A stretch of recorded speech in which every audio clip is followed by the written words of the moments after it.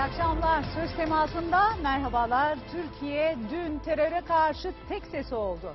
Yeni Kapı'daki mitingde yaklaşık 2 milyon insan vardı ve teröre lanet yağdırdı.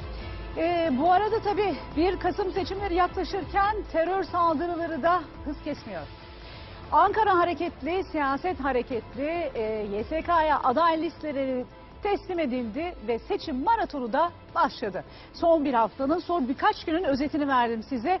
E, bu konuya temas edeceğiz. Nasıl temas edeceğiz? Hemen konuklarımızı tanıyalım. Geldiniz. Evet, AK Parti Ankara Milletvekili Aydın Ünal hoş geldiniz. Genel Başkanı İhsan Aktaş hoş geldiniz. AK Parti İstanbul Milletvekili Markar Eseyan hoş geldiniz siz de ve sosyolog Erol Erdoğan siz de hoş geldiniz.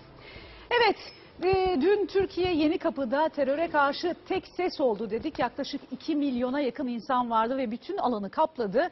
E, Türkiye tek bir ağızdan teröre lanet yağdırdı. Aslında e, burada önemli bir e, konuşma vardı. Cumhurbaşkanının tarihi konuşması. Ondan bir kesit vereceğiz size. Çünkü Türkiye'nin gündemine oturan özellikle bir cümlesi vardı ki hep birlikte izleyelim onu. Her hafta en az bir kez muhtarlarla toplantı yapıyorum. 400, 350 bu arada muhtarı Ankara'ya davet ediyorum. Geçenlerde Güneydoğu Doğu o bölgeden davet ettim. Ve 90 tanesi gelemedi. İnceledik. Geleceklerini bildirmişlerdi. Neden? Tehdit altındayız. Onun için gelemiyoruz dediler. Cici çocuk. Siz kimi aldatıyorsunuz ya? Televizyon ekranlarında kimi aldatıyorsunuz? Verilen mücadeleler sonunda artık Türkiye'nin Kürt sorunu yoktur. Terör sorunu vardır diyecek bir noktaya geldik. Elbette tüm etnik unsurlar gibi Kürt kardeşlerimin de sıkıntıları, beklentileri vardır. Peki Türk'ün yok mu? Laz'ın yok mu? Arap'ın yok mu? Boşnak'ın yok mu? Çerkez'in, Gürcü'nün yok mu? Roma'nın yok mu? Türkiye Büyük Millet Meclisi'ne hangi partiden olursa olsun fark etmez. 550 tane yerli, milli, bedeni ve kalbiyle bu ülke için çalışacak milletvekili göndermenizi istiyorum.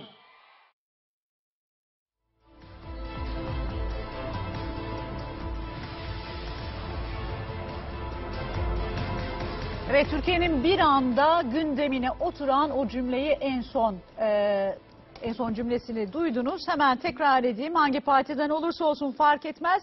İki, e, 550 yerli milli bedeni ve kalbiyle çalışacak milletvekili göndermesini istiyorum dedi. Şimdi bu cümle e, niye e, gündeme oturdu? Çünkü muhalefet manipüle etti ve sanki bir ırk aidiyetine atıfta bulunmuş algısını yaratmak istedi. Hemen size e, döneyim Aydın Bey, Sayın Vekilim.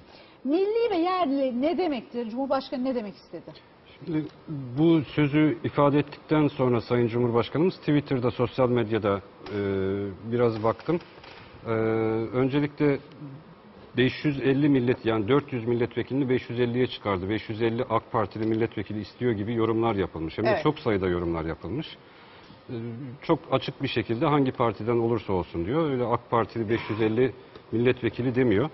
Bugün e, yine sosyal medyada 550 milletvekili olsun, AK Partili olsun diye AK Parti cenahından talepler, istekler vardı. Keşke 550'si de AK Partili olsa diye. O zaman demokrasi olmaz. Böyle bir şey mümkün de değil zaten. Onu bir öncelikle söylemek isterim.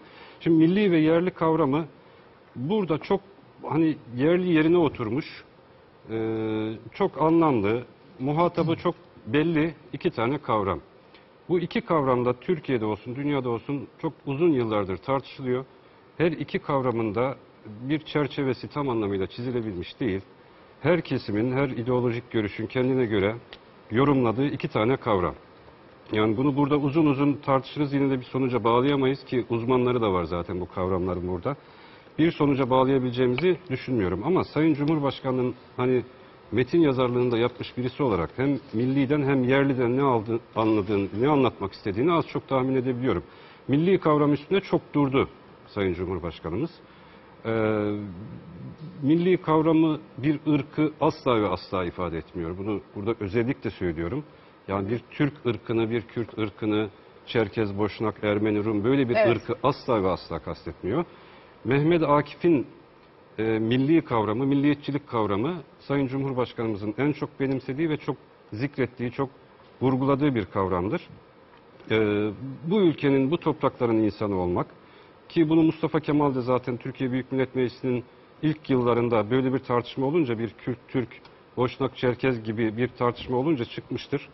E, o ana asrı İslam diye ifade etmiştir ama e, Mehmet Akif de Cumhurbaşkanımız da onu biraz daha genişleterek bu topraklar üzerinde yaşayan, kendisini bu topraklara ait hisseden, bayrağa, İstiklal Marşı'na, bu ülkenin sınırlarına, bu ülkenin kültürüne, medeniyetine ait hisseden insanları tek bir millet olarak ifade etmiştir.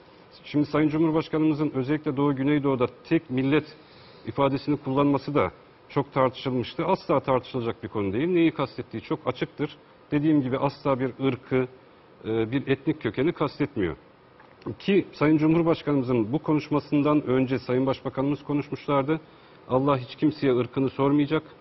Kürt müsün, Türk müsün diye sormayacak. Siz de sormayın demişti.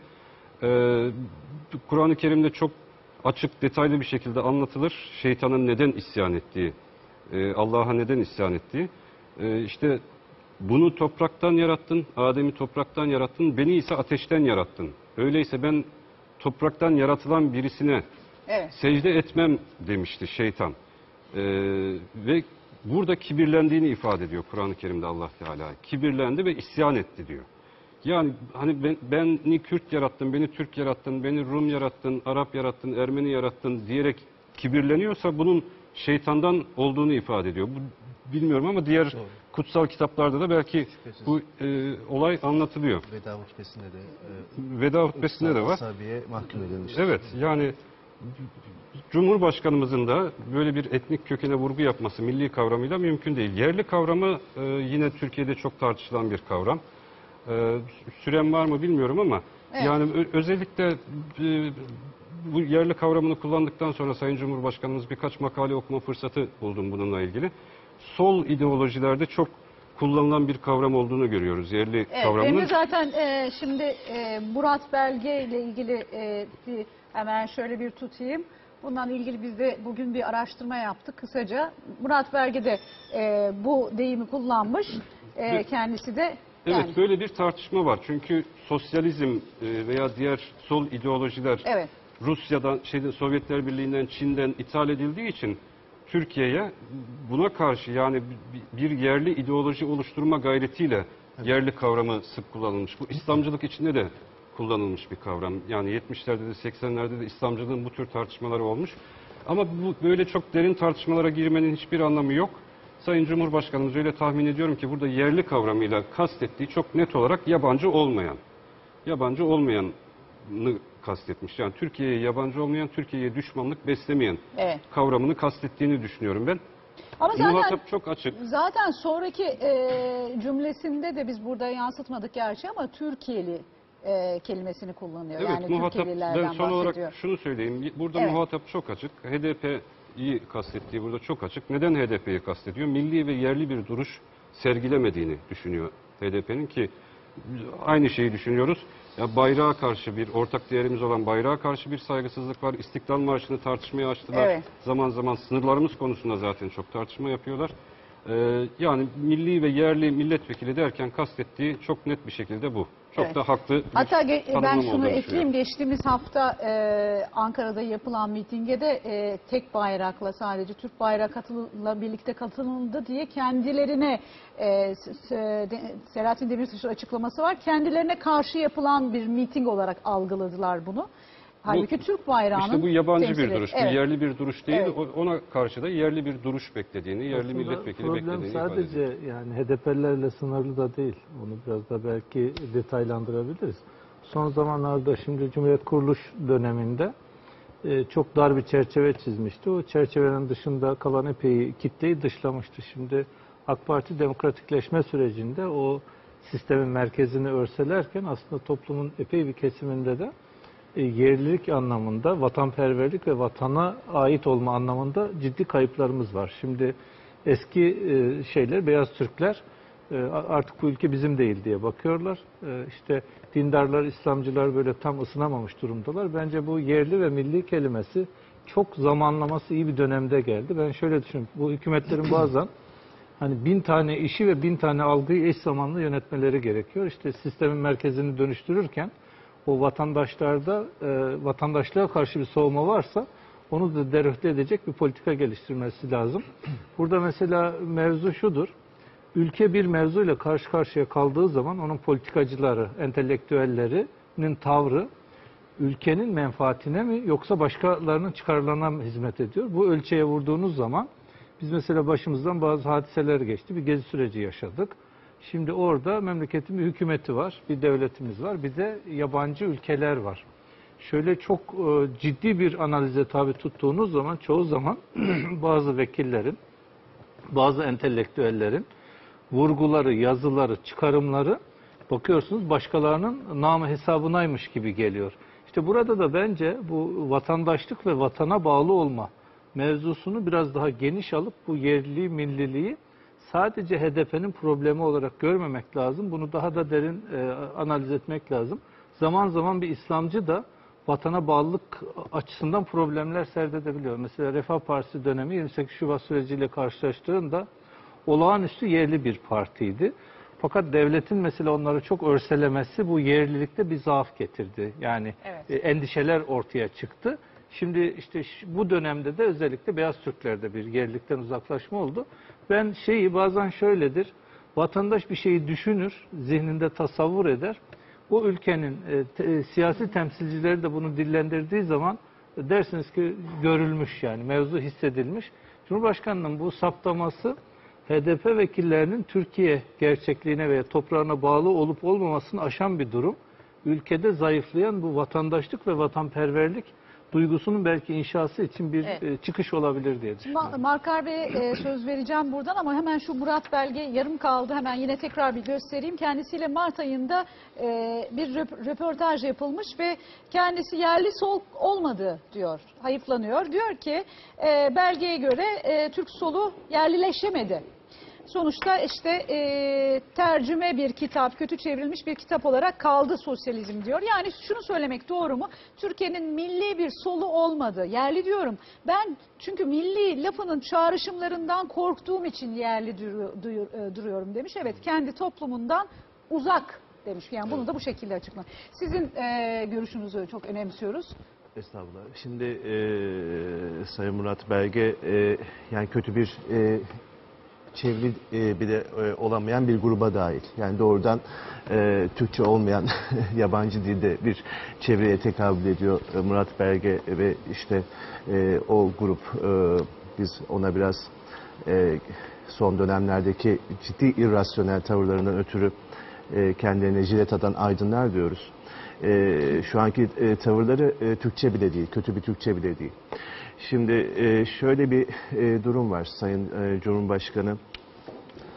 E, gerçekten e, halkı çok iyi e, tahlil eden, halkın içinde e, yaşayan e, birisi ve e, bu anlamda oradaki e, talebi, oradaki sıkıntıyı veya e, işte diyelim pozitif negatif e, talepleri e, çok iyi e, okuyabilen, bunu e, tarihsel bağlamına oturtup e, bugünün e, gerekliliklerine göre bir e, dile tercüme edebilen birisi. Evet. Yani çok karmaşık bir konuyu e, bir cümleyle e, ifade ediyor ve bu e, halkta bir karşılığı var. Halkta dinlediği zaman e, Sayın Cumhurbaşkanı evet ben bunu demek istiyordum. Cumhurbaşkanı benim his- hislerime tercüman oluyor. Şimdi bu yerli ve milli meselesi gerçekten çok derin bir konu. Ee, öyle Twitter'da e, işte birkaç e, şeyle, gayriz cümleyle e, anlaşılabilecek bir şey değil. E, şimdi bu son 3 yıldır e, Türkiye'de e, aslında bunu AK Parti'nin ilk e, iktidar döneminden beri hissediyoruz. E, gittikçe e, AK Parti ve tabii ki e, Sayın Cumhurbaşkanı, Başbakan şu anda Cumhurbaşkanı karşısında e, ciddi bir e, bloklaşma oluştu. E, bu bloklaşma e, başta tabii ki askeri vesayetin güvencesine sahipti ve e, o anlamda e, biraz daha e, sükunete sahiptiler. Yani özgüvene sahiptiler Evet. ama bu özellikle 2010 referandumundan sonra e, askerin, askeri vesayetin de artık e, Türkiye'de o eski anlamıyla işlev görememesi ki iyi bir şey bu. E, ve sivil otoritenin altında e, durmayı kabul etmesiyle orada bir e, çıplak kalma hissi uyandı. Yani AK Parti'den kurtulmak için biz orduya güvenmiştik. E, yani ordu ama modern ama postmodern ama post postmodern bir e, eninde sonunda darbe yapar. E, bu e, işte AK Parti denen e, bu hükümeti ve onun sosyolojisini tekrar e, çevreye doğru yani merkeze gelen bu sosyolojiyi çevreye doğru e, savurur, süpürür. E, bu da olmayınca e, gittikçe e, e, siyasetsizleşmeye başladılar. Yani aralarındaki e, doktrin varsa olduğunu zannetmiyorum E, ve ideolojik farklar varsa yine olduğunu zannetmiyorum. E, o farklar bile en azından yapay olarak gösterilen o farklar bile mesela işte milliyetçi bir parti, e, ulusalcı onun karşısında başka bir parti veya hareket, e, bir terör örgütü. E, onun e, yanında işte kendisine liberal diyen e, işte e, özgürlükçü gruplar. E, bunların hepsi e, bu halk hareketi karşısında ve halk lideri karşısında gittikçe safları sıklaştırdılar E, ve bu sıklaştırma e, başarısızlıklar arka arkaya geldikçe 10 seçimden bahsediyoruz. Dile kolay yani o da kolay bir şey Evet. değil karşı taraf için. E, 10 seçim e, yenilgisinden sonra ve AK Parti sosyolojisinin ve liderliğinin kalıcı olduğunda anlaşılmasından sonra adeta bir altın vuruşa e, karar verildi. Yani bütün saflar sıklaştırılacak e, ve ne olursa olsun, ne pahasına olursa olsun bu tırnak içerisindeki işgal gücünden e, kurtulacağız. Evet. Şimdi bu noktada e, son 3 yıldır e, aslında AK Parti'den de bağımsız 78 milyonu birden ilgilendiren bir riskle karşı karşıyayız. E, gerçekten e, öyle bir hal aldı ki bu paranoya. E, hiçbir e, e, ilke, hiçbir sınır, bir e, anlam e, sınırı veyahut da somut bir e, işte tavırın gelip dayanacağı evet burada bu kadardan fazlası olmaz denecek bir sınır e, bırakmadı ve nitekim e, özellikle işte e, Gezi'de olsun e, daha sonra onun Güneydoğu'daki karşılığı e, e, PKK tarafından, HDP tarafından yapılan 6-8 Ekim olsun. Yani bir ülkeyi, hatta bunu bahsettiğiniz bu şahıslar e, bizzat yazdılar. Yani Türkiye ancak bir iç savaştan geçerek Mehmet Altan'ın e, cümleleri e, işte bunu e, böyle bayağı hani kerli ferli e, eskiden yani bir kısım benim hocam bunların Ahmet Altan şey hmm, Murat Murat Belge benim tez hocam. Ee, yani bu insanların nasıl bu hale geldiğini anlamak için çok kafa yorduk. Çünkü bu bir e, vaka. Yani bu vakayla ilgilenmek gerekiyor. Yani ilginç. Ee, ve nasıl bu şekilde savruluyorlar. Bu aslında e, yani ne oldu en son? Ee, en sonunda TSK'nın yerine yani eski Evet. cuntacı TSK'nın yerine e, baktı ki PKK ve DHKPC konmuş. Yani eski darbe kuvvetleri silahlı güçlere işte Evet. başvurduğu zaman e, cuntalara başvuruyorlardı. O cuntalar ortadan kalktıktan sonra bugün PKK'ya başvurma, DHKPC'ye başvurma durumuna kadar savruldular. E, işte bu ülkede paralel yapı denen bir e, işte e, nasıl diyelim e, felaket başımıza geldi. E, bu felaket e, öyle bir şey ki e, bu ülkenin dışları e, sağır odasında e, konuşulan çok e, özel bilgileri e, dışarıya yansıtacak kadar. E, MİT tırlarının durdurulması ve bunun işte e, e, çok tabii yalanlarla, iftiralarla dünyaya servis edilmesine kadar. E, Türkiye'yi DAEŞ'çi gösterip e, Türkiye'ye neredeyse bir NATO müdahalesi çağıracak kadar biz bunları yaşadık. Yani Evet. bunlar e, şey Birebir değil. yaşadık. E, yazıldı, çizildi. Böyle bunlar değerli toplu argümanlar olarak savunuldu. Televizyonlarda tartışıldı. Yapılmasının gerektiği söylendi. E, şimdi e, burada e, bu tehlikeli şeyden bahsediyorduk. E, bir e, ciddi bir yani bir milleti millet yapan, bir devleti devlet yapan, bir halkı halk yapan ve onu koruyan e, değerlere doğru indik. Yani bu bir kanserdir aslında. Yani o kanser her tarafa yayıldı o çevre açısından ve e, artık bir ülkenin iç savaşa girmesi, bir ülkenin çok e, işte mahrem bilgilerinin Türkiye'nin e, vatandaşların hayatını tehlikeye atacak şekildeki attı. Yani DAEŞ'in yaptığı saldırılar, işte Suruç, e, bu Ceylanpınar'da, Cilve Gözü'nde yaşadığımız, e, Niğde'de yaşadığımız saldırılar bunlar hepsi e, e, en nihayetinde bir istihbarat sızıntısından da kaynaklanıyor. E, ve bunlar hep göze alındı. Yani burada yerliliğin, yani bu ülkeyi e, meşrebi ne olursa olsun, e, burada aşağı yukarı hepimiz farklı meşreplerden aşağı yukarı geliyoruz. E, yani karşı tarafta da aynı farklılıkları görebiliyoruz. E, ama en nihayetinde dünyanın en uygar ülkesine de gittiğinizde bir milleti millet yapan ve hepimizi e, en nihayetinde tek bir zeminde birleştiren bazı değerler vardır. E, bu e, işte Sayın Cumhurbaşkanı'nın dikkati çektiği tehlike bu. Ve burada artık bizi tekrardan bir şemsiye altında, ortak bir soyut ideal altında toplayacak e, asgari müştereki yaratmamız gerekiyor. Çünkü sadece AK Parti'den ve Sayın Erdoğan'dan kurtulmak için bu değerlerin hepsini e, böyle safra atar gibi attılar. E, bu anlamda e, yerli ve milli olmak, yani dediğim gibi meşrebi ne olursa olsun, ideolojisi ne olursa olsun bir noktada bu ülkenin iyiliğini istemek, bu ülkenin toprak bütünlüğünü istemek, Tek bu vatan, ülkenin tek bayrak. Tabii yani bu Evet. şimdi şöyle bir şey var. Ee, biraz da- daha sonraki bölümden benden şey yapın, e, kesin. Burada şöyle bir e, mesele e, de var. E, bazı kelimelerin anlamları e, bizim e, acılı geçmişimizden ötürü veyahut da hamasi geçmişimizden ötürü e, anlam kaybına uğramış durumda. Dolayısıyla o an, e, zihniyet hemen kendisini yenileyemediği için mesela yerli, milli, işte milli birlik ve beraberlik, e, işte e, tek vatan, tek bayrak bu gibi e, şeyler, sıfatlar, cümleler, e, sözcükler e, eski devletin kullanımı gibi e, kulakta çı- çınlıyor ama Türkiye eski devlet değil. E, ben eskiden bu cümleleri duyduğumda bir Ermeni olarak korkardım. Yani e, çekinirdim. Yani hem başımıza yine bir şey gelecek derdim. Çünkü bu e, toplumu bastırmak için e, kullanılmış, içi boşaltılmış e, ırkçı söylemlere tekabül ediyordu o zaman. Şimdi peki? Ama bugün 90'larda değiliz. Bugün birleştirici, işte ben bir Ermeni vekili olarak burada oturuyorum. E, meclisimizde her meşrepten insanlar var. E, bugün siyasetin önü e, tüm kesimlere dönük. Üstelik geçmişte çok ağır bedeller ödemiş Kürtler gibi, dindarlar gibi, gayrimüslimler gibi tüm kesimlere siyaset alanı sonuna kadar açılmış. E, ve davet var buraya. Gelin her şeyi söyleyin, her şeyi konuşun. E, işte her türlü hakkınızı arayın. Ve Türkiye 12-13 yılda çok ciddi bir demokratik reformdan geçmiş. Bugün artık yerli ve milli dediğimizde anlamamız gereken şey hepimizi kapsayan bu vatanın bizim vatanımız olduğuyla ilgili bir duyguyu tekrar yaratmak. Yani bu vatan bizim vatanımız. Bu vatan hepimize açık. Birlikte kurduk. Bin yıl birlikte burada yaşadık.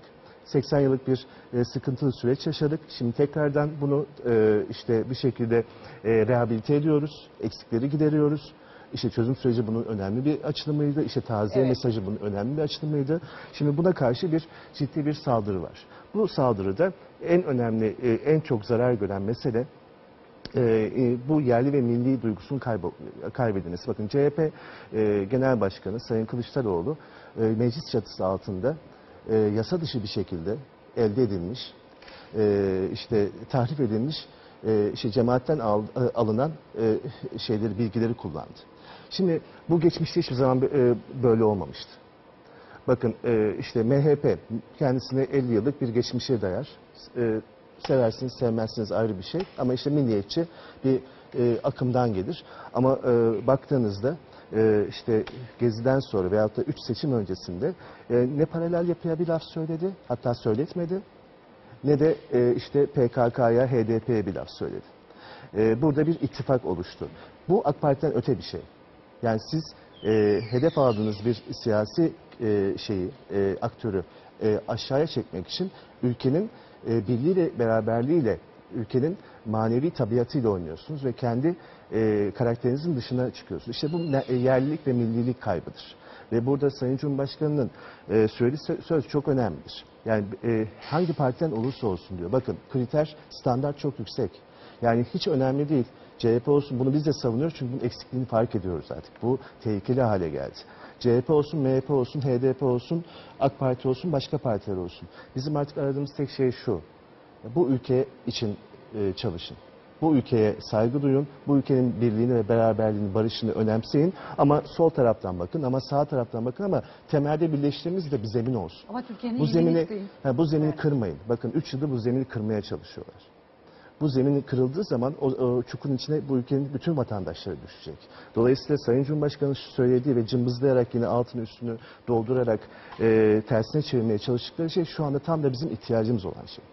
Bu anlamda e, aslında bu e, söylemin bu kadar speküle edilmesi de yine bu mesajın alınmadığını gösteriyor. Ve Umarım alınmak istenmediği. evet umarım e, Yani. değişir bundan sonra. Öyle değil mi? Evet. Siz nasıl görüyorsunuz? Alınmak istenmiyor mu? Nasıl algılıyorsunuz siz bunu? Sonuçta siyaset polemikler üzerinden yürütüldüğü için Evet. maalesef o polemiğe e, her zaman e, başvuruyorlar. Halbuki terör gibi, e, şiddet gibi insanların öldüğü, öldürüldüğü, şehit edildiği bir meselede e, en azından bu meselede e, çok ucuz polemiklere başvurmamak lazım. Bu milli ve yerli konusunu e, Sayın bir Cumhurbaşkanı söyleyebileceği en güzel cümleler bence. E, bu açıdan önemli. Kaldı ki bir parti için söylemiyor. Bütün arkadaşlarımız onu vurguladı. Hangi partiden olursa olsun diyor. E, hemen hatırlayalım. E, daha birkaç hafta önce bir milletvekili çıktı ve dedi ki Türkiye ile filan devlet savaşırsa ben filan devletin yanında yer alırım dedi. Eğer böyle bir milletvekili meclise gelmişse bu ülkeyi yöneten Cumhurbaşkanı da kalkıp ben meclisimde yerli ve e, milli milletvekili istiyorum deme hem hakkı var hem de sorumluluğu vardır. Yani düşünün ki bir e, bu mecliste hala bu mecliste olan bir milletvekili Türkiye ile filan ülke savaşırsa ben filan ülkenin yanında yer alırım diyecek kadar e, gayrimilli, e, anti halkçı biraz o ifadeyi de kullanalım. Evet. Bir tavır içerisine gelebiliyor. Bu yerlilik ve millilik aslında bugünkü bağlamda konuşuyoruz. Sayın Cumhurbaşkanı e, cümlesinin sonunda size söylediniz. E, özetliyor. Türkiye'li olmak olarak e, yerli ve milli tanımlıyor ama aslında bu tartışma çok eski bir tartışma. Cumhuriyetin kuruluşuna kadar e, götürebileceğimiz bir tartışma. O dönemde de mandacılardan bahsediyorduk. Yani biraz İttihat ve Terakki'nin devamı sayılan e, grubun e, Türkiye'nin zor şartlarını aşması için, o günkü zor sıkıntılı ekonomik şartlarını aşması için, karşı karşıya kaldığı bazı e, dış müdahaleleri aşması için e, mesela Amerikan mandasını e, tercih ediyor, e, istiyorlardı. Aslında Sayın Cumhurbaşkanı o sözünü ta böyle geriye kadar, 100 yıllık geriye kadar da götürmek mümkün. Çünkü bu ülkenin meclisinde e, de maalesef e, bir 100 yıl önce bu tartışmalar da oldu. Amerikan mandasını istemek gibi tartışmalar da oldu. Bu anlamda e, Sayın Cumhurbaşkanı'nın bu sözü hem bir İslamcı siyasetçinin bir sözüdür, hem milli bir siyasetçi sözü hem de yerli kelimesi ve bu Amerikan mandasına vurgu yaparak söylediğim söylüyor. Aynı zamanda tırnak içerisinde solcu birisinin söylemesi gereken de arkasında durması ve imza atması gereken de e, bir cümle olarak görmemiz gerekiyor. Aslında milli kelimesinde e, çok günlük olarak kullandığımız bir şey. Kaldı ki bu, bu seçilecek milletvekilleri Türkiye Büyük Millet Meclisi'ne gidecek. Yani e, Türkiye Büyük Millet Evet, Meclisi milletin dediğimiz şey meclisi. dört tane kelimeden oluşur. Bir tanesi de millet kelimesidir. Yani milli kelimesi. Orada zaten karşılığını bulması gerekiyor. E, bu kelimeyi biraz da e, daha entelektüel anlamda belki oryantalizm bakış açısını eleştirmek anlamını da e, düşünebiliriz. Türkiye'de maalesef aydın aydınlarımız, siyasetçilerimizin bir kısmı e, ta Cumhuriyet'in başından itibaren var olan bir problemdir bu. Halkına yabancılaşmıştır. E, dışarıdan bak, bak- e, bakar. Bir Avrupalı gibi bakar. E, Müslümanlara bir gayrimüslim gibi bakar. Bir oryantalist bakış açısıyla bakar. Bir yabancıymış gibi bakar. Bu maalesef mecliste de, e, meclisteki milletvekillerinde olabilen, onların da sadır olabilen bir şey. E, Sayın Cumhurbaşkanı bu vurgusunu e, Türkiye'deki insanlara Türkiye'nin içinden bakmak, Türkiye'nin içinden e, onları görmek, analiz etmek, onlar gibi duymak, onlar gibi hissetmek gibi e, bir bakış açısı, böyle bir talep gibi de e, algılamakta fayda var. Belki burada çok değinmemiz gereken bir şey var. E, özellikle sol kesimin çok hassas olduğu milli kelimesi yerine halkçı kelimesini kullanıyorlar. Evet, milli kelimesiyle halkçı, halk kelimesi arasında e, bir takım kavramsal teorik tartışmalara gelebiliriz ama aslında çok da bu anlamda siyasetin kullanılan bir, bir fark da yoktur. Yani e, Sayın Cumhurbaşkanı sözünden e, evet yerli milletvekili istiyor, milli milletvekili istiyor ve halkçı, halkçı Evet. milletvekili Ama istiyor. Bu kadar öyle basit. değil mi? Yani sonuçta istenildiği gibi böyle Çok bir net algı e, çok çok özetlemek gerekirse milli Evet. aslında e, milli marşımızdaki ifade edilen anlamdır. Ama biraz daha böyle hani polemik vari söylemek gerekiyorsa Türkiye ile filan devlet savaşırsa e, filan devletin yanında yer alırım dememektir. Evet. Milletin yanında yer almaktır. Kuvayi milli ruhuyla, milli mücadele ruhuyla. E, çok güzel, çok açık bir söz. Ben de e, 550 vekilin hepsinin öyle olmasını arzu ediyorum. Evet. Şimdi son zamanlarda e, ben gerekçesiz düşmanlık diye e, tanımlamaya çalıştığım bir mevzu var. Nihayetinde şu an Türk siyasetinde konuştuğumuz ve bir sürü tartışmaya zemin oluşturan üç tane hadise oldu Türkiye'de. Gezi olayı oldu. Arkasından 17-25 Aralık hadisesi oldu. Ee, Kürt meselesini yani Kürtleri siyasetten, AK Parti'den, iktidardan koparmak için de Kobani olayları oldu. Baktığınız zaman her üç mesele de Türkiye'deki siyasi partilerin gayretiyle oluşmuş meseleler değil. Şimdi e, insanlara baktığınız zaman işte AK Parti'nin 13 yıllık iktidar süreci var. Demokratikleşmede e, iyiye gidiş vardı. Ne zaman geri kötüye gidiş oldu? E, yani yoksul kesimlerin hakkında, hukukunda veya gelirlerinde bir kayıp mı oldu? Bir sınıfsal problem mi var? Yoksa Türkiye'de işte eskiden dindarların başına gelen darbelerde 28 Şubat süreçlerindeki gibi bizim Türkiye'nin işte e, beyaz Türklerin elitleri yakalanıp hapse mi atıldı? Baktığınız zaman gidişatta aslında hiçbir değişiklik yoktur. Tarihten bugüne Türkiye gibi ülkelerde ne zaman ki e, liderlerin, yöneticilerin yüzü halka döner ve ulu- uluslararası ilişkilerden kazanma ve kaybetme meselesinde liderler kendi halklarına daha çok kazandırmaya başladıkları zaman ya da o sömürge imparatorluğundan bugün bugüne kadar kurulan düzene karşı az buçuk yan bakmaya başladığınız zaman işte bir anda sizin lideriniz diktatör olabiliyor. Hatırlarsanız Kemal Kılıçdaroğlu Avrupa Avrupa'ya gitmişti. Çok erken zamanda bir diktatörden bahsetti ve orada bütün Avrupalı vekiller ayaklandılar. Yani siz bir siyasi parti liderine %50 oy almış bir kişiye nasıl diktatör dersiniz? Fakat dikkat edin o günden sonraki 5-6 ay sonra herkes aynı şeyi tekrarlamaya çalıştı. Yani demek ki o dönemde bir Orada konsept belirlenmiş. Kurgu mu vardı? Konsept belirlenmiş. Yani bir diktatör var, diktatör olacak ve öyle anılacak. Ee, Avrupalılar söylemeden, Amerikalılar söylemeden, bir başkası söylemeden Kemal Kılıçdaroğlu bir acemilik edip erken söyledi. Erken söylediği zaman da Avrupalıların tamamı tepki gösterdi. Bakın bugün tepki göstermiyorlar. Ha demek ki bu yerlileşme, millileşme ve Türk halkının kazanmasıyla alakalı bir irade ortaya çıktı ki bir Evet. anda ve yerli ve yabancı bir sürü düşman e, ortaya çıktı. Bu Kemal Tahir aslında bu yerlilik ve yerli sola en çok vurgu yapan kişidir. Onun e, galiba yol ayrımı kitabında çok enteresan bir tanımlama var. Sakarya'da kendi köyüne yakın bir asker vuruluyor ve şehit oluyor. Fakat bakıyorlar ki vurulup düştüğü zaman sırtı düşmana dönük, yüzü de kendi milletine dönük. Diyor ki o biliyordu ki düşman bellidir ve e, yenersin ya da yenilirsin. Fakat içer, o diyor içerideki hainlerin hainli, hainliklerinin dışarıdakinden daha büyük olduğunu fark etti. Şimdi nihayetinde bir ülkenin düşmanı olabilir, rakibi olabilir. Fakat bizim için acı durum şu, Türkiye ile meselesi olan her devletin içimizde uzantıları var. Yani şöyle etrafımıza bir bakın. Nihayetinde devletlerin de kabiliyeti şudur. Ee, bu istihbarat anlamında olsun, entelektüel anlamda olsun. Bir ülke, ülkelerle rekabetiniz varsa o uzantıları içinize sokmazsınız. Yani İngiltere'nin içerisinde kimse müdahil olamıyor. Almanya'nın içerisinde de kimse müdahil olamıyor. Zaten Amerika'ya kimsenin müdahil olmak e, hakkı veya gücü yok.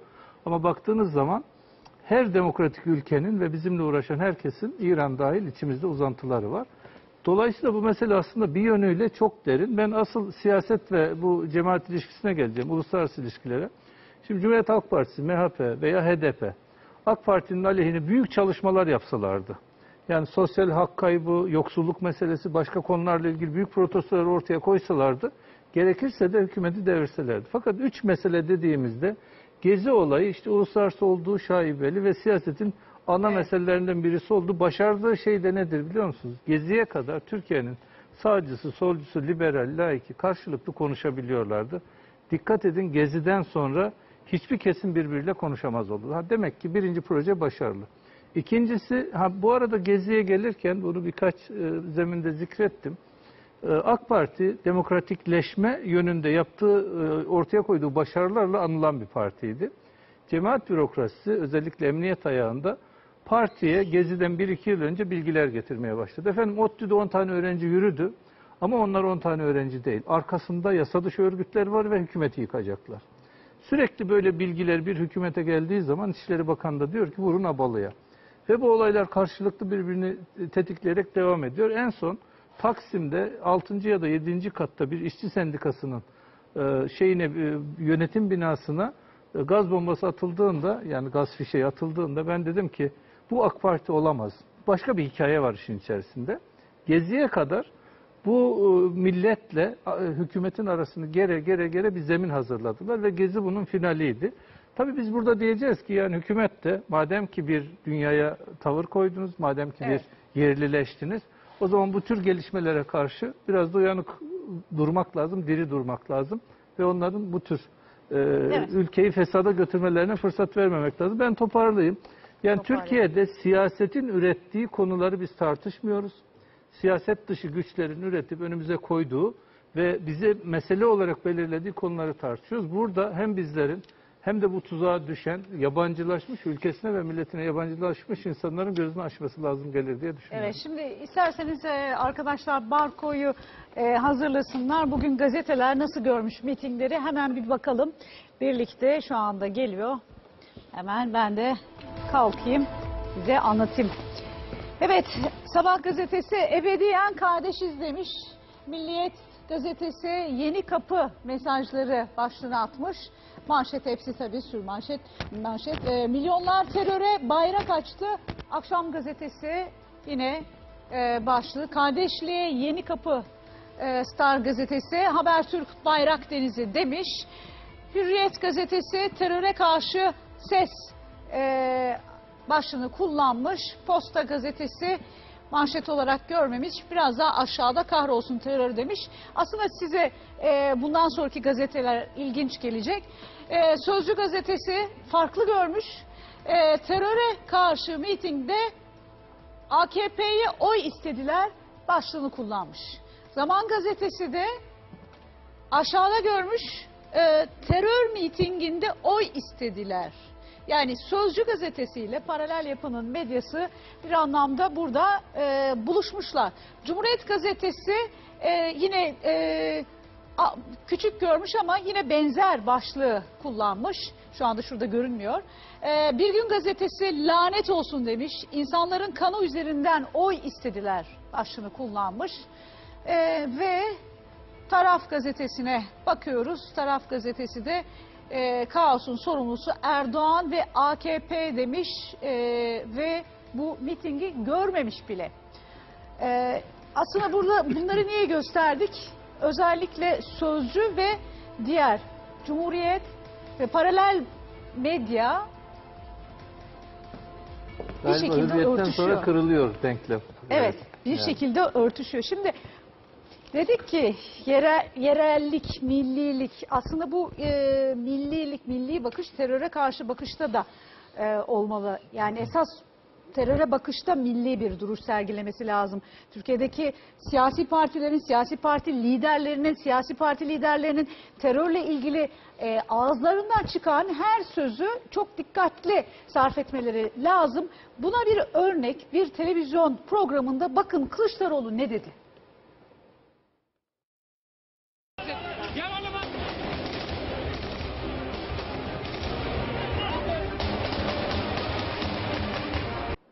PKK Türkiye'yi terk edip Kandil'e çekilse dahi silah bırakmaz.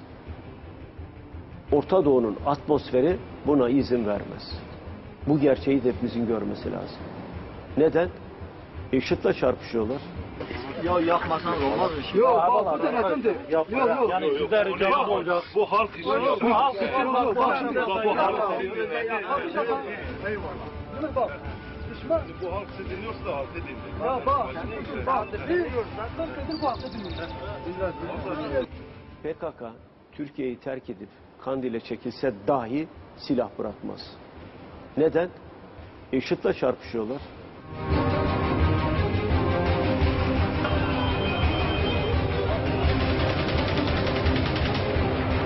Neden? IŞİD'le çarpışıyorlar. PKK silah bırakıyor. PKK silah bırakmaz. PKK silah bırakmaz. Niye bıraksın? Kürt silah bırakmaz. Türk devleti silahsızlansın. Öbür devletler silahsızlansın.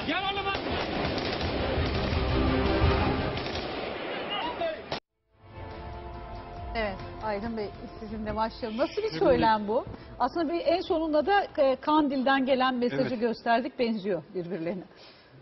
Şimdi gazetelere baktığınız zaman burada bir kere hani aylardır da takip ediyoruz ama çok hastalıklı bir ruh hali var. Yani artık bu, bunu çok net bir şekilde söylemek lazım. Böyle bir mitingi, milyonların katıldığı, siyaset üstü bir mitingi, hiçbir siyasi partinin bayrağının açılmadığı, flamasının açılmadığı, hiçbir siyasi partinin de bildiğim kadarıyla isminin zikredilmediği bir mitingi Ama siyasi partilerin e, başka partilerin gelmediği, temsilci gelmediği, göndermediği evet. Bu- özellikle bu- burada burada çok konuştuk. altını- evet. Terörün en büyük sorunlarından bir tanesi bu zaten. Yani terörü çözememe sebeplerimizden bir tanesi bu. Muhalefetin sürekli elini oluşturarak PKK saldırsa da oylarım artsa diye e, böyle bir beklenti içine girmesi. Yani 1984'ten beri bunun bu, bu yüzden biz bu terörü çözemiyoruz.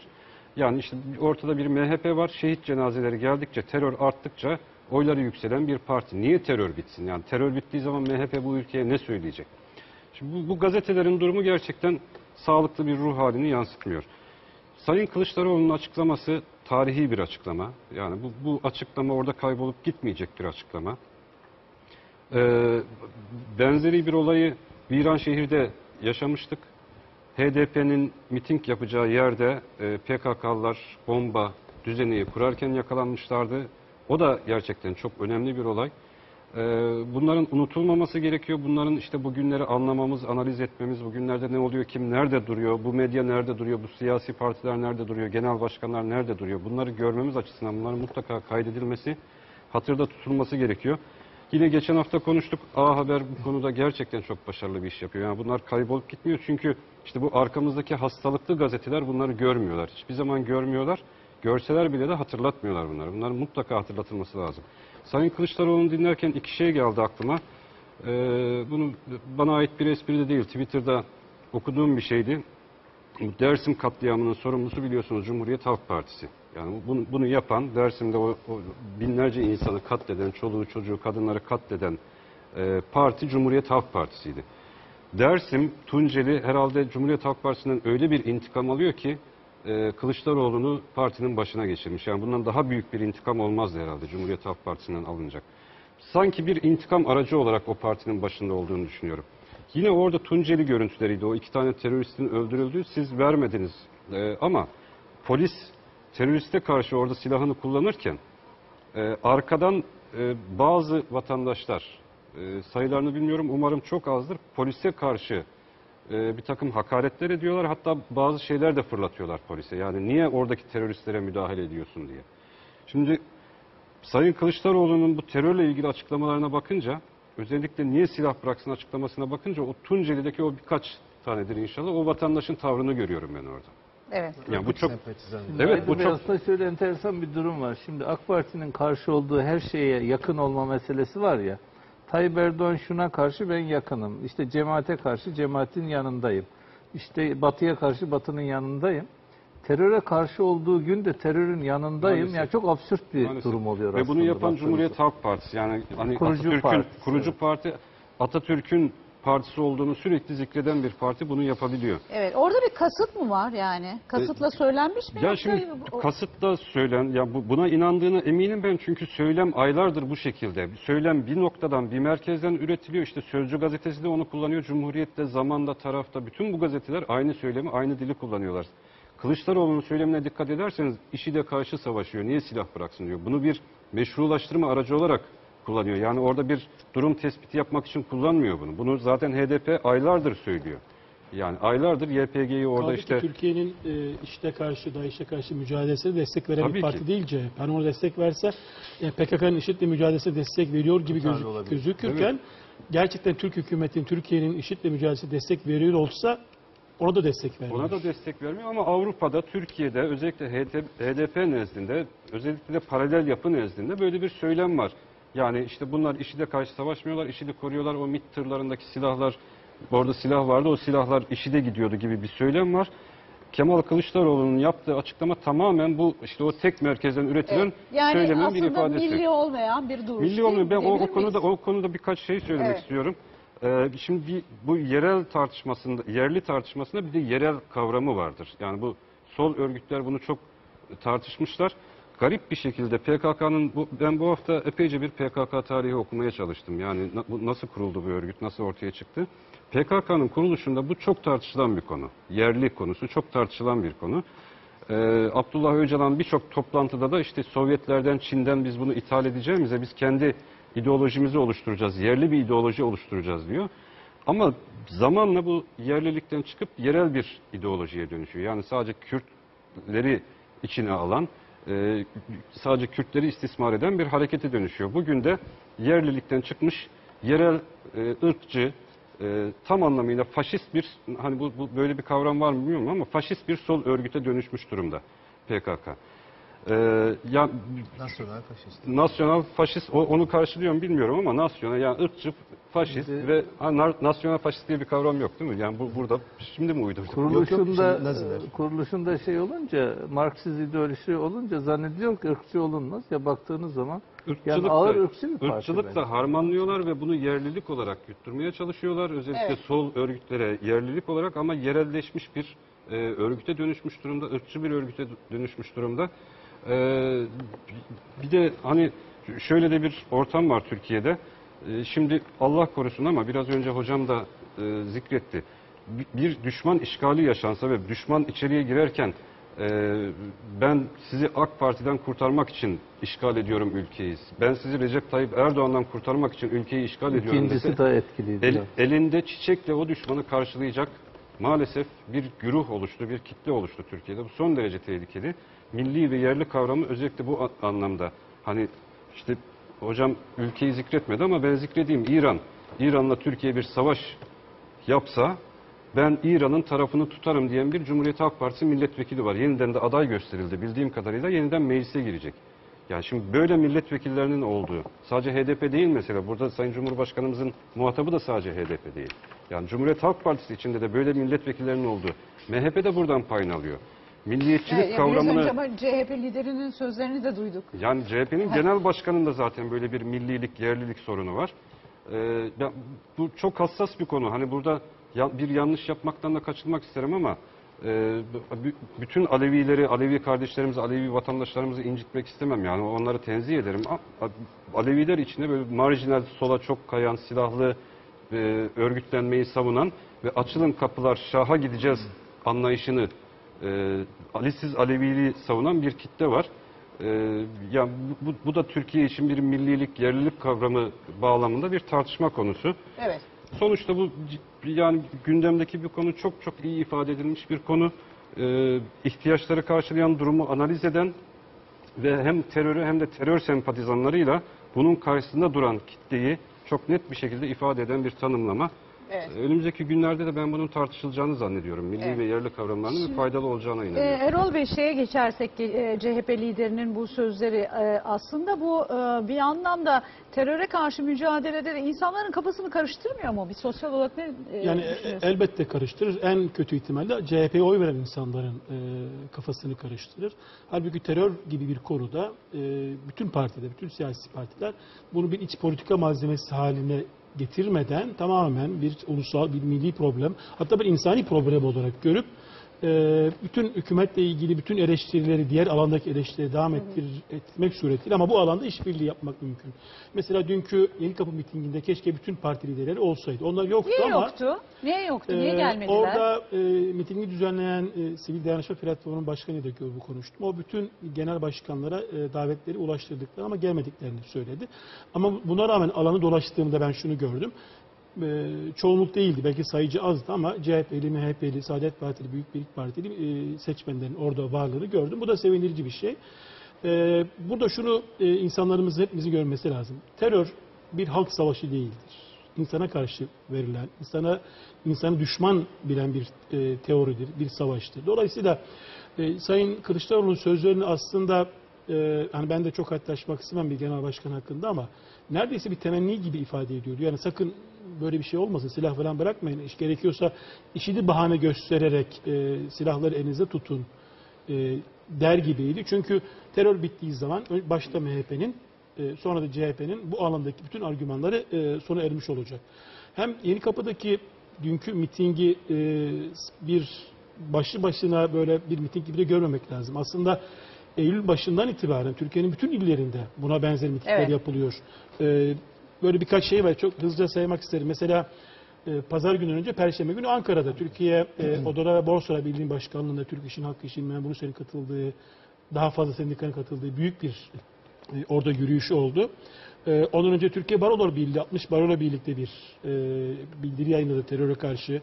Daha önemlisi mesela Türkiye Yazarlar Birliği İstanbul Şubesi Türk ve Kürt yazarları bir araya getirerek benzer bir şekilde e, barış bildirisi teröre karşı bir bildiri yayınladılar. E, 120 tane aşiret ciddi bir sayıdır bu Doğu ve Güneydoğu'daki. Bunlar e, teröre karşı bir ortak bildiri yayınladılar ve 90'lara dönmek istemiyoruz PKK'ya dur anlamda bir bildiriydi bu. E, Doğu ve Güneydoğu'da e, al- Evet. 600 tane STK, Diyarbakır'da benzer bir e, çalışma yaptı. De. Aslında bir- Türkiye'nin bütün illerinde şu anda bu devam ediyor.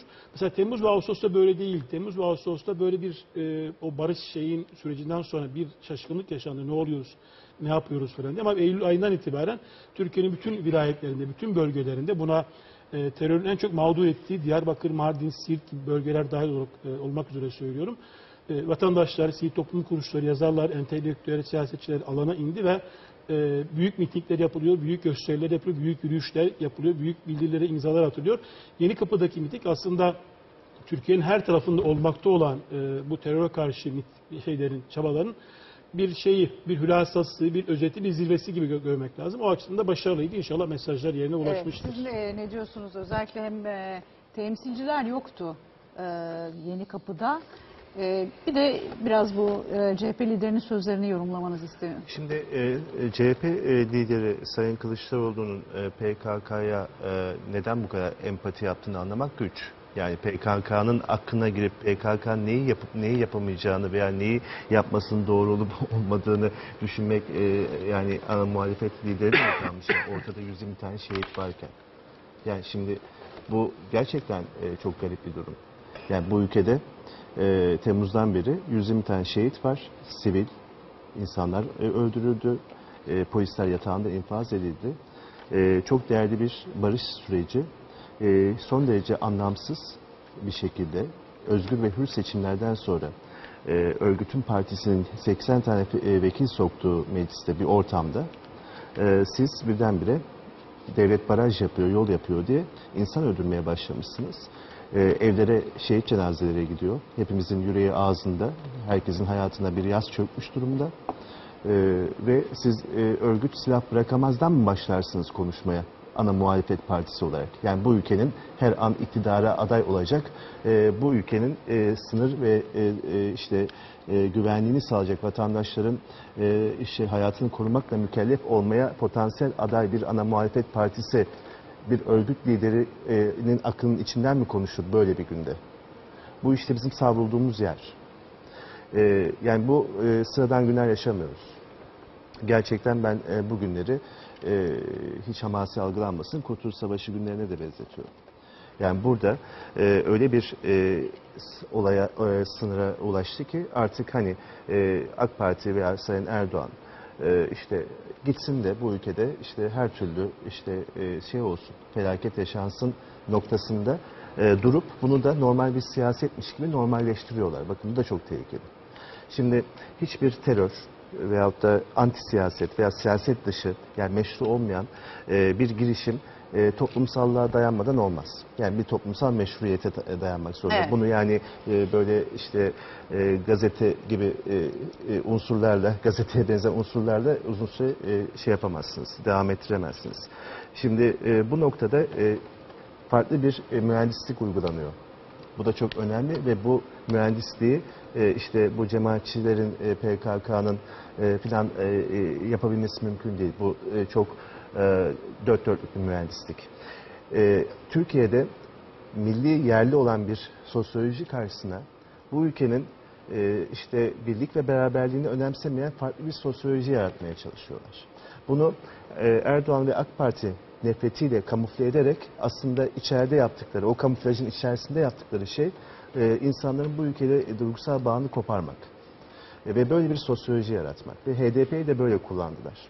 Yani HDP'yi barajı geçirme, barış söylemi vesaire vesaire derken aslında e, e, satır altında, metin altında e, e, yaşanan şey ülkenin e, bir şekilde e, ülkede yaşayanların duygusal bağını birbirine olan bu ülkeye, bu topraklara, tarihine ve geleceğine yani ortak değerleri bağını e, böyle bir e, şey içinde, kamuflaj içerisinde e, Evet. buharlaştırmak. Şimdi bir reklam Evet, arası galiba. verelim. Evet, Çok kısa bir reklam arası sonra tekrar birlikte olacağız.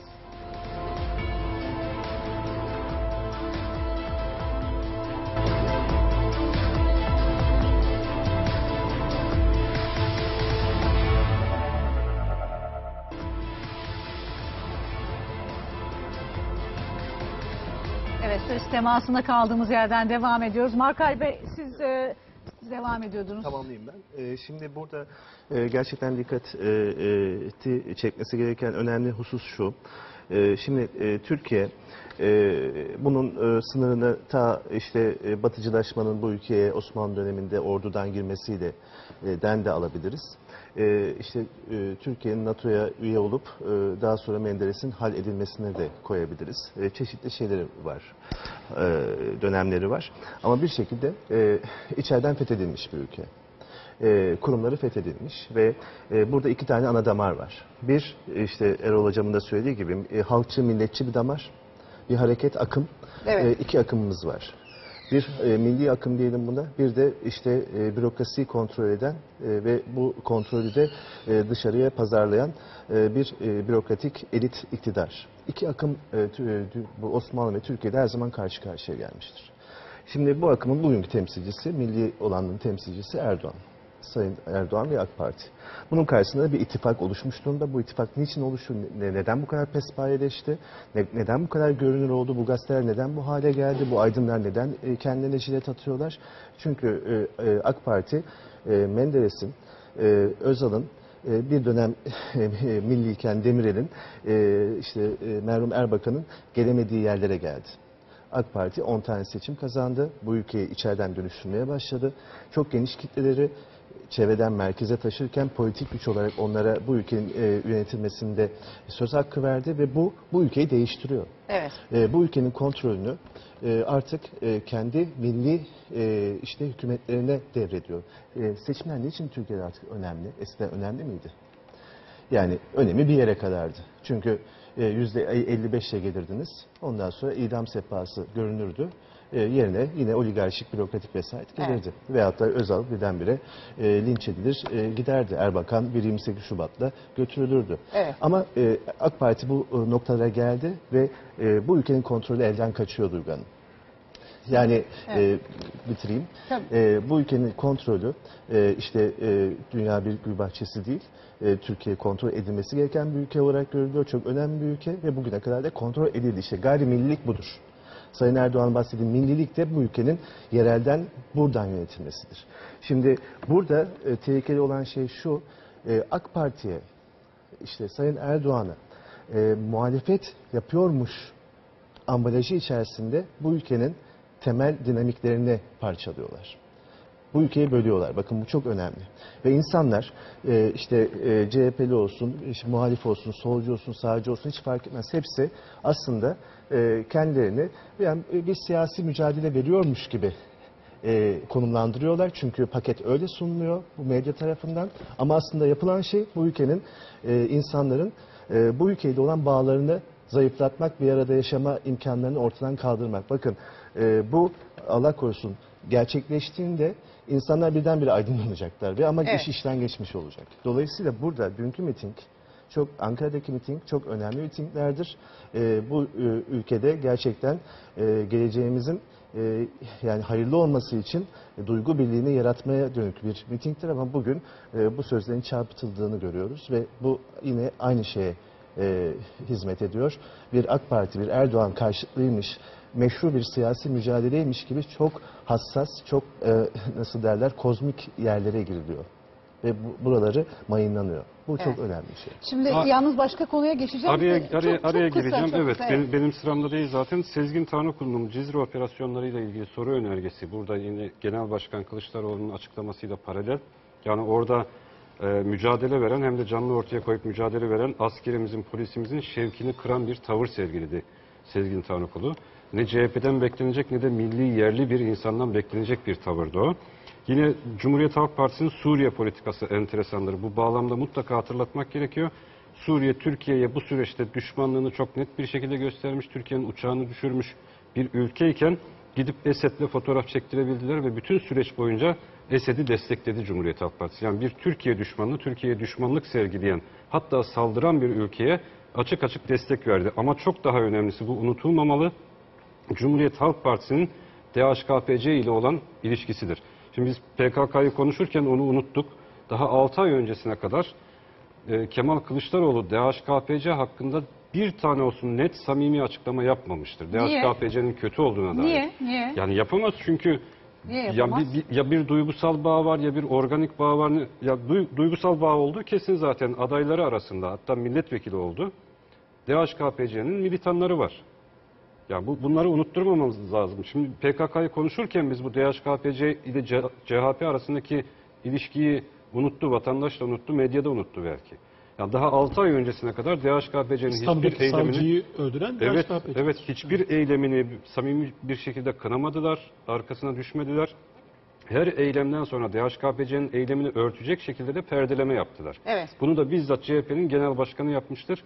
Ya daha ileri bir delil de aranıyorsa dediğim gibi CHP'nin şu anda milletvekili olan 7 Haziran seçimlerine giren ve zannedersem aday bir tanesi DHKPC'nin militanıdır. Ad, ad verebiliyor musunuz? Hatay milletvekili. Evet. Hatay milletvekili zannedersem birinci sıradaydı 7 Haziran'da. Şu anda nedir durum bilmiyorum. Herhalde duruyor yerinde. Hatay milletvekili DHKPC'nin militanıdır. Ya bu, bu da gizlenen saklanan da bir şey değil. Hani şuradan Google'dan yazsa insanlar görürler bunu. Evet. Şimdi e, 1 Kasım seçimleri yaklaşıyor dedik e, ve e, seçim startı da verildi. Artık e, e, maraton başlamış oldu. E, bu yönde siyasi partiler çeşitli açıklamalar yapıyorlar. E, şimdi size e, HDP'li e, aynı zamanda Avrupa Birliği Bakanı Ali Haydar Konca'dan bir ses dinleteceğiz. Hemen ondan sonra İhsan Aktaş yorumlayacak. Halkların Demokratik Partisi'nin şu veya bu komplolarla barajın altına itilmesi tam aksine Türkiye'nin bölünmesini getirecektir. Bu riski hiç kimsenin alma şansı olamaz. Evet. Ee, İhsan Bey, e, HDP'nin e, aslında seçim söylemi bir anlamda e, kulaktan kulağa 7 Haziran seçimlerinden önce şöyle deniyordu. Eğer HDP barajın altında kalırsa bu ülkede kan akar. E, barajın altında kalmadı ama Türkiye'de kan aktı. Şimdi e, benzer bir söylem, bu, bu söylem ne, ne olur yani? Bu strateji tutar mı? Şimdi bu seçimde HDP bir önceki seçimdeki kadar alay vala ile çıkıp hani bir önceki anlattığı şeyleri anlatamayacak. Çünkü e, Türkiye Partisi olmak gibi bir iddiayla yola çıktı ve Türkiye'nin işte Marksisinden şeriatçısına kadar birçok yelpaze içerisine aldı. Halk da onlara yeteri kadar destek verdi. Yani 80 milletvekili desteği verdi. Ee, o, o günlerde de işte barajın böyle kıl payı altındayız, kıl payı kenarındayız gibi ifadelerle de e, e, biraz şey yaptılar. Ya motivasyon oluşturdular. E, İktidar Partisi'nin de fazla yüklenmesi onlar aslında beklemedikleri bir sonuçla karşı karşıya getirdi. Ya bugün en azından HDP'nin baraj tartışması yoktur. Yani barajı aşmış bir parti ve o, o çerçevede de oy alır. Fakat yani 100 vekil aldığında veya 20 vekil aldığında ne değişecek ben doğrusu onu merak ediyorum. Yani HDP'nin bu e, rejime kendisini kabul ettirme pro- problemi yoktur. Yani seçilmiştir ve meclise gelmişlerdir. Asıl PKK'yı memnun etme projesi var. Yani bu HDP e, siyaseten oy alması PKK'nın e, hoşuna gitmedi. Aslında şunu söylemeye çalıştı PKK. Burada bir tane, bu çöplükte bir tane horoz var. Ve bu bölgelerin hakimi benim. Ben bölgeye gittim ve üç günlük incelemelerde bulundum. Yani AK Partililere değil, HDP'lilere de değil, daha tarafsız olan yani aykırı Kürt grupların temsilcilerini ve CHP'lilere sordum. Yani HDP ile PKK'yı ayrıştırma şansımız var mı? Ya dediğimde bu soru çok böyle gayri ciddi bulundu yani. Ne demek ya o nereden çıktı der gibi baktılar. Çünkü orada yaşıyorlar. Yani şöyle dediler bölgede PKK'nın komiserleri vardır. Bir komünist sistem gereği işte her ilin bir ko- komiseri var. Oradaki bütün e, o e, alfabenin uzantıları o komisere bağlı.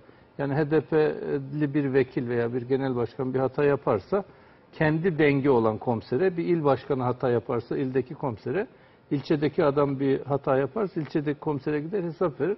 Hatırlayın mesela Osman Baydemir şeye çıktığı zaman yayınlara öyle belagatlı bir dil kullanır ki böyle aman Allah'ım böyle demokrasi, insan hakları, özgürlükler dediğiniz zaman bazen acaba bu kelimelerin tamamını bilmiyoruz diye komplekse kapıldığımız da olur onun belagatı karşısında. Fakat kendi şeyinde yani mesleki olarak küçümsemiyorum.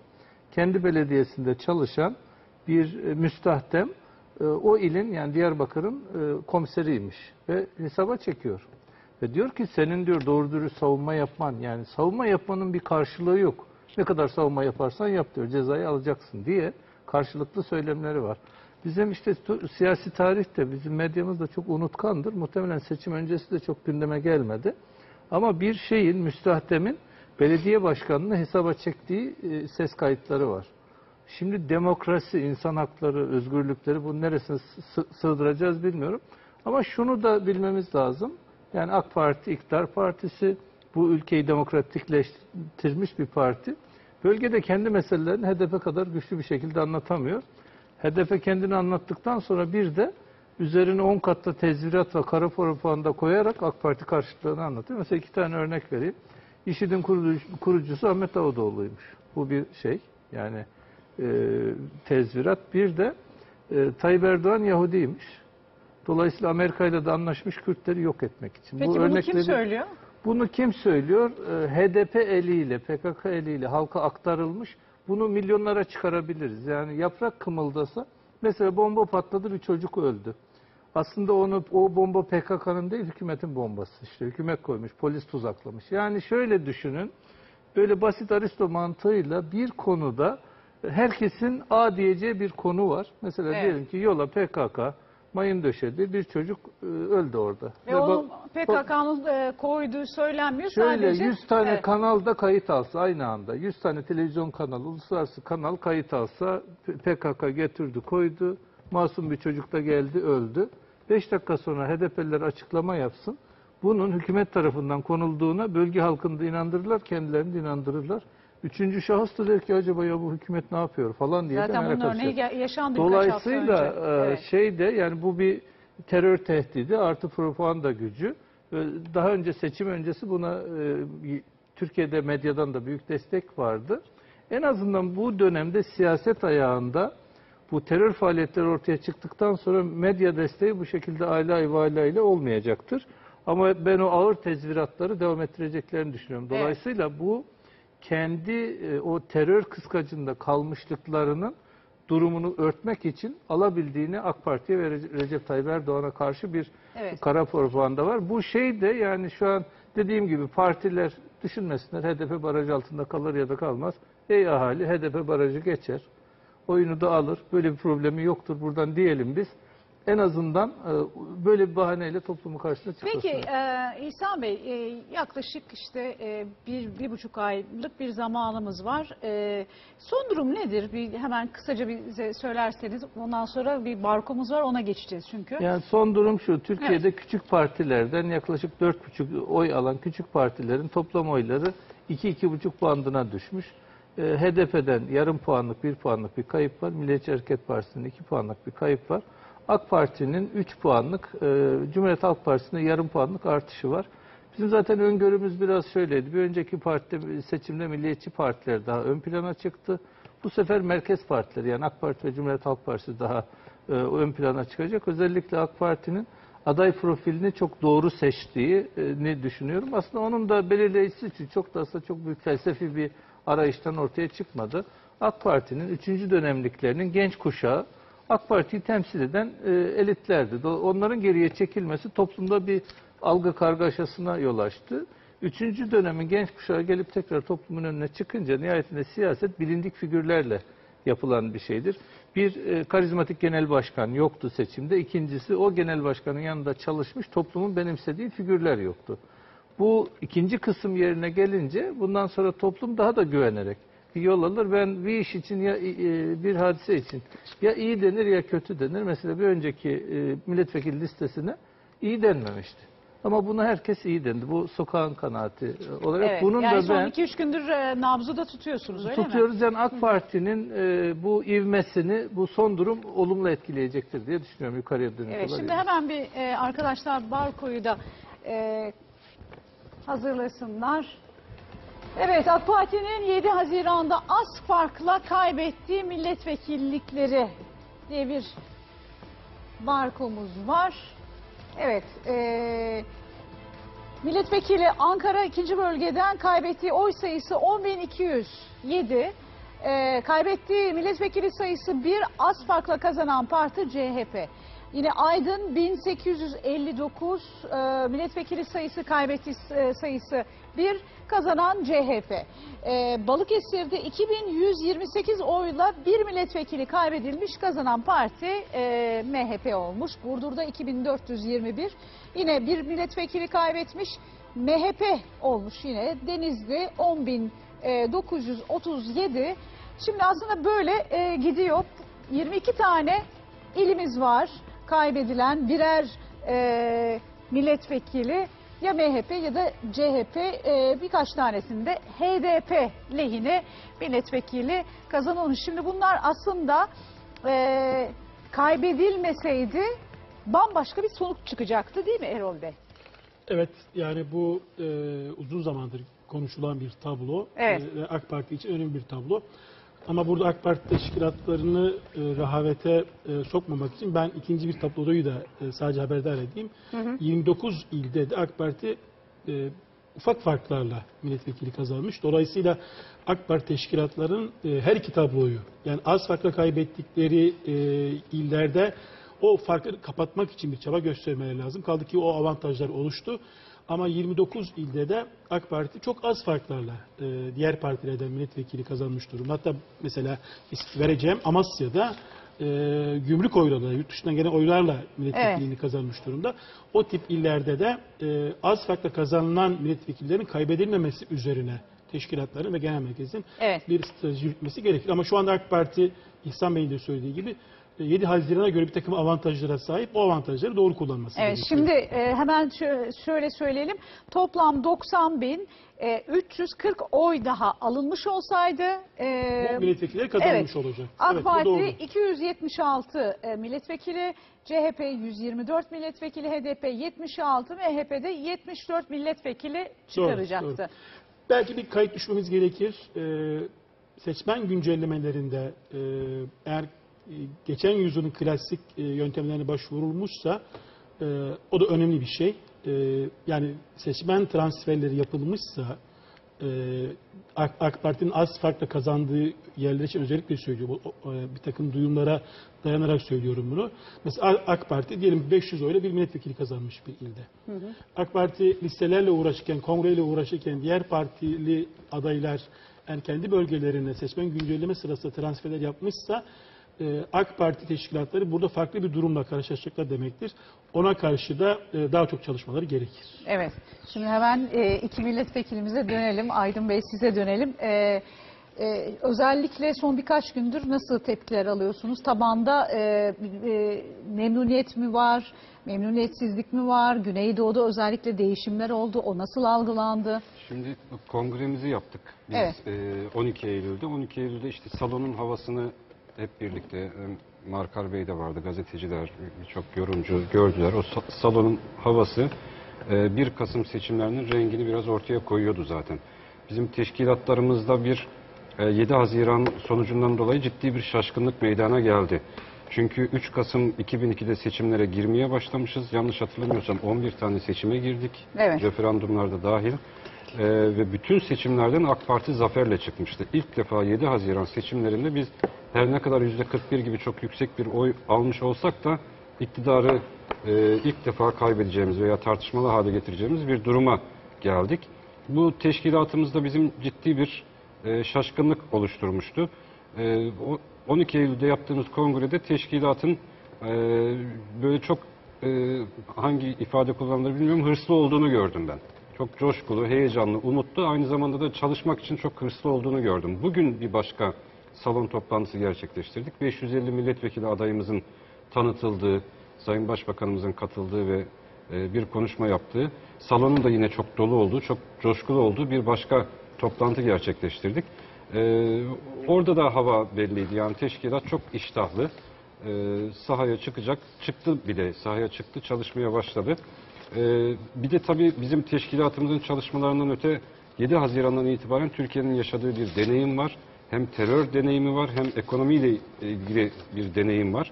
Bir tek parti iktidarının olmaması, güçlü bir iktidarın olmaması e, Türkiye'ye nasıl bir bedel ödetiyor, nasıl bir fatura öde- ödetiyor bunun çok küçük bir kısmını gördük 4,5 aylık bu süreçte. Küçük bir kısmıydı bu. Yani bu sürecin Allah korusun devam etmesi durumunda Türkiye'nin terör, ekonomi veya diğer alanlarda ne kadar daha büyük faturalar öde- ödeyeceğinin biraz ipuçlarını gördük biz bu süreçte. Ee, seçmenin de bunu gördüğünü düşünüyorum. Ya seçmene dokunan birçok tarafı oldu. Evet. Belki ateş düştüğü yeri yakıyor. Terörde e, şehitlerimizin aileleri o büyük acıyı yaşıyorlar ama işte toplum da o acıyı yaşadı ki meydanlarda kitleler harekete geçti, yürüyüşler yaptı, protestolar yaptı. E, aynı şekilde işte ekonomide belki büyüme dediğimiz zaman insanlara çok bir şey ifade etmiyor olabilir ama işte dolar dediğiniz zaman, döviz dediğiniz zaman bu bir şey ifade ediyor. Bütün seçmene dokunan bir yanı oldu 7 Haziran'da çıkan istikrarsız sonucun.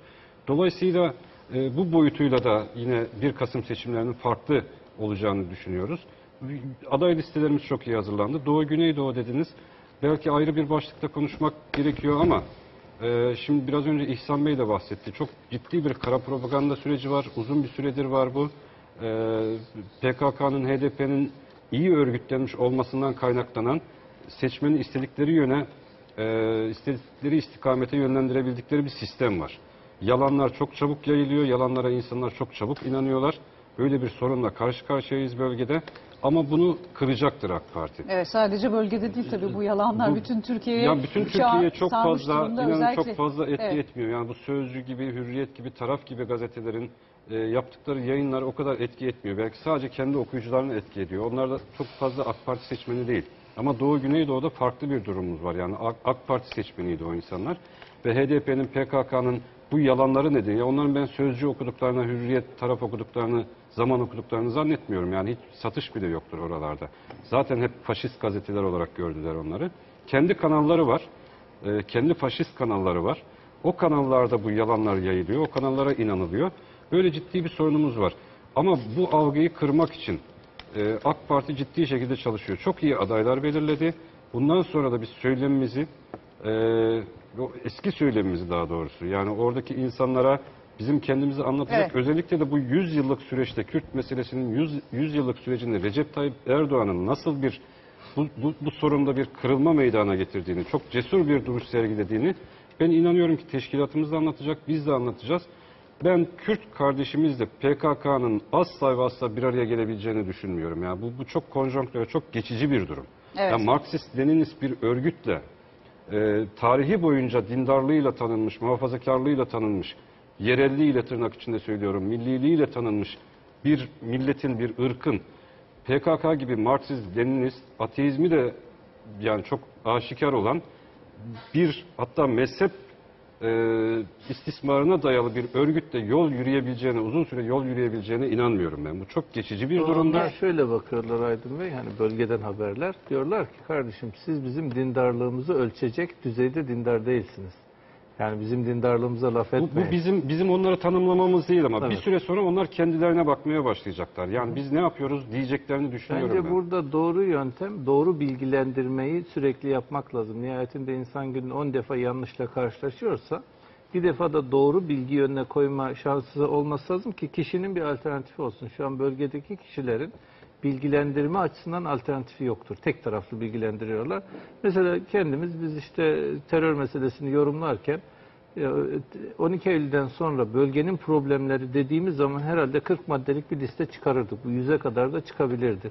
Şimdi konuşurken biz mesele bulamıyoruz. Aslında sokaktaki insan da bulamıyor. Ne diyorsunuz? İşte anayasal vatandaşlık, Türk şey Kürtçenin okullarda serbest bırakılması. Bir de bu dağdaki teröristler ne olacak? Üç tane meselemiz var. Aslında bir taneye indi. Yani Kürtlerin bir tane problemi kaldı. Bu teröristlerden Kürtleri nasıl kurtaracağız?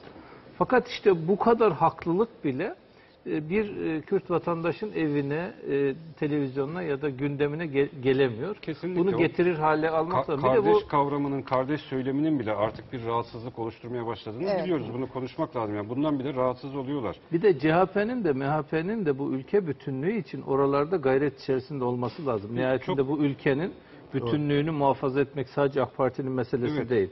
Bütün partiler gidecekler orada yeniden organize olacaklar ve meselelerini bu. anlatacaklar En büyük insanlara. sorunumuz bu. Yani ben bunun, bununla bitireyim. AK Parti 2001'den itibaren, kurulduğu andan itibaren bölgede var. Bölgedeki Evet. tek siyasi parti neredeyse ve bölgede yalnız bırakılmış bir parti. Yani bugüne kadar on- 14 yıllık tarihinde orada tek başına mücadele etmiş bir parti. Şu anda da orada bir terör var. Bunu kabul edelim. Yani bugün oluşmuş bir şey de değil. 31 yıldır terör var orada. AK Parti tek başına mücadele ediyor ve bu terörü de bitirebilmiş değil. Bitirmenin mücadelesini veriyor ama bitirebilmiş değil. Dolayısıyla AK Parti teşkilatı sokağa çıkmakta, propaganda yapmakta çok zorlandı ve hala da zorlanıyor. Evet. Çok baskıcı bir ortam var. Evet. Farklı sesleri tahammül edemeyen bir ortam var. Evet. Bu Bununla noktada bir şey, Erol. Bey'e bir şey soracağım. Hemen sonra e, Markar Bey'e e, söz vereceğim. Çünkü bir barkomuz var da e, 7 Haziran e, öncesi ve sonrasını bir karşılaştıralım istedik. E, barkomuzda da var. E, AK Parti 7 Haziran'la karşılaştırdığımızda şu anda avantajlı konumda mı değil mi? Eğer avantajlıysa ne tür avantajları var? Kısaca hemen anlatabilir Evet bir misiniz? takım avantajları var. Ee, birincisi e, programın başından beri konuştuğumuz yeni aday listesi. Ee, yeni aday listesinde iki tane temel vurguyu görüyoruz. Bir tanesi e, partinin kurucu iradesinin tekrar aday listelerinde yani e, üç dönemlikler diye e, meşhur olan e, 24 isim e, şu anda AK Parti'nin 1 Kasım seçim listesinde yer aldılar. Bu kurucu iradeyi, AK Parti'nin kurucu iradesini göstermesi bakımından önemli. Birinci şey bu. İkincisi de e, bir 7, 7 Haziran'a göre daha fazla bilinen, daha fazla yerel adaylar, daha fazla kamuoyunca bilinen isimler var. Dolayısıyla birinci avantajı 7 Haziran'a göre AK Parti'nin aday listesi. Burada şu vurguyu yapmak lazım. AK Parti teşkilatları ve seçmenler e, 7 Haziran seçimleri boyunca ve sonrasında aday listeyle ilgili şikayetlerini hem parti içi kurullar vasıtasıyla, parti içi mekanizmalar vasıtasıyla hem de sosyal medyadan usulünce paylaştılar, eleştirdiler, tepki gösterdi ve Genel Merkez, AK Parti Genel Merkezi de e, teşkilatın tabanı seçmenin bu e, feryadını diyelim dikkate aldı ve aday listelerini buna göre revize etti. Birinci avantajı bu. İkincisi de e, Saadet Partisi ile Büyük Birlik Partisi biliyorsunuz 7, e, 7 Haziran'da e, ittifak yapmışlardı ve o bir anlamda o çevrede bir sinerji olmuş, oluşturmuştu. Şimdi iki parti seçime e, ittifak yapmadan giriyorlar, ayrı ayrı giriyorlar. E, Bu da e, AK Parti'ye yarayacak bir durum olarak şu anda gözüküyor. E, Meclis dışı, demin İhsan Bey söyledi, meclis dışında e, 14 parti 7 Haziran'da %4.7 oy almıştı. O oran şimdi aşağı doğru %2'lere kadar düşecek. Dolayısıyla e, meclis dışındaki oylardan bir kısmı da AK Parti'ye doğru e, bir eğilim gösterecek. Bu da AK Parti'nin diğer avantajı. E, AK Parti'nin hem bu aday listelerinde hem e, mesela memur maaşları, emekli maaşları gibi konularda ben hatamı fark ettim şeklinde bir algı oluşturdu. Bunu Sayın e, Genel Başkan, Sayın Başbakan Davutoğlu da konuşmalarında biz mesajınızı aldık dedi ve seçimden hemen sonra da milletvekili adayları, teşkilatlar, bütün e, teşkilat kademeleri tek tek istişare yaparak, 7 Haziran seçimleriyle ilgili değerlendirmeler yaparak teşkilata dönük, biraz da kamuoyuna dönük e, ey millet, ey teşkilatım ben 7 Haziran'daki hatalarımı fark ettim şeklinde bir algı oluşturdu. Bu algıda teşkilat tabanı tarafından sevimli kabul edilen, güzel kabul edilen bir mesajdır. Bu da e, AK Parti'yi 7 Haziran'a göre daha avantajlı bir duruma getirdi. HDP e, 7 Haziran'a giderken daha barışçı bir dil kullanıyordu ama e, seçimden sonra daha savaşçı bir dil kullanmaya başladı. En son e, aktarmaksam eksik oldu. Mesela Karasu, Mustafa Karasu HDP şeyin PKK'nın lider kadrosundan e, özür gündemdeki yazısında e, Hüseyin Ali ismiyle yazdığı yazıda e, şiddet olmadan demokrasinin olmayacağını, e, şiddetin, savaşın demokrasi getireceğini söylüyor. Bu çok bildiğiniz Amerikan söylemidir aslında. Orta Doğu'yu her işgalinde e, demokrasi getirmekten bahseder. Topar. Evet. HDP'nin e, barış diline uzaklaşmış olması da e, AK Parti için şu anda bir avantaj. Altıncı başlık olarak milliyetçi bir destek oluştu. Kavrama itiraz ediyorum orada. Milliyetçi kavramına itiraz ediyorum. Ee, MHP veya bir MHP tabanında, MHP ve Büyük Birlik tabanından tamam ama- MHP ve Büyük Birlik tabanından Evet. bir destek oluştu diyelim. Ee, Ben itirazın anlamı, Milli destek. gördüm.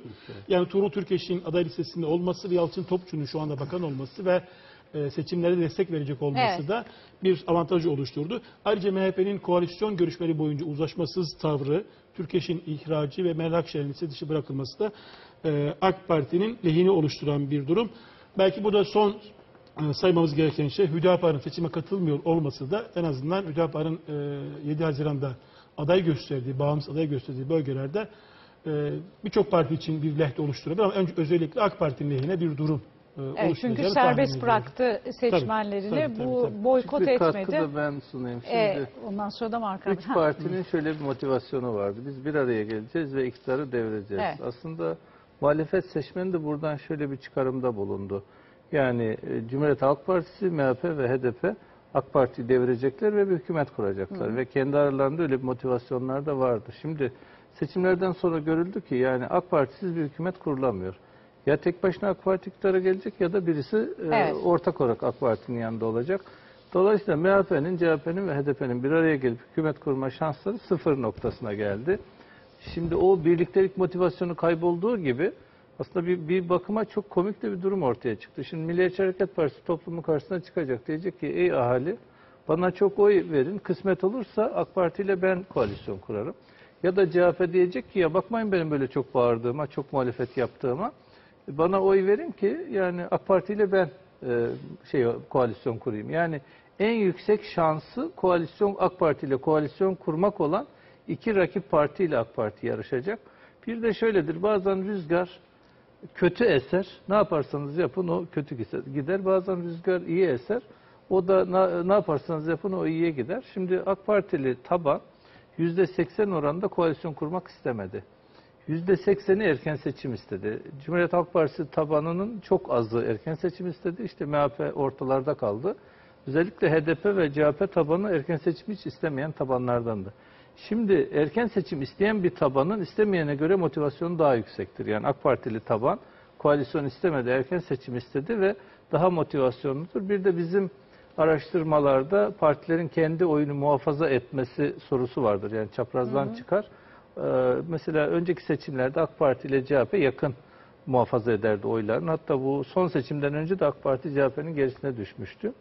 Şimdi AK Parti %95 oranında bir önceki seçime göre oyunu muhafaza ediyor. CHP 91, HDP 91, MHP 88 oranında. Yani oyunu muhafaza etme ve oy artırma kabiliyeti en yüksek AK Parti'de gözüküyor. En düşük de de MHP'de. En mi? düşük yani en oyunu muhafaza etmekte en zayıf parti de Milliyetçi Hareket Partisi. Tabii seçim böyle başladı. Bu rüzgarla başladı. Ben böyle de devam edeceğini Evet. Cümle kullanayım mı? Çünkü böyle Ama şey- kalır. Ha, Peki. Şöyle yani burada 7 madde saydım ben e, AK Parti'nin 7 Haziran'a göre avantajlı.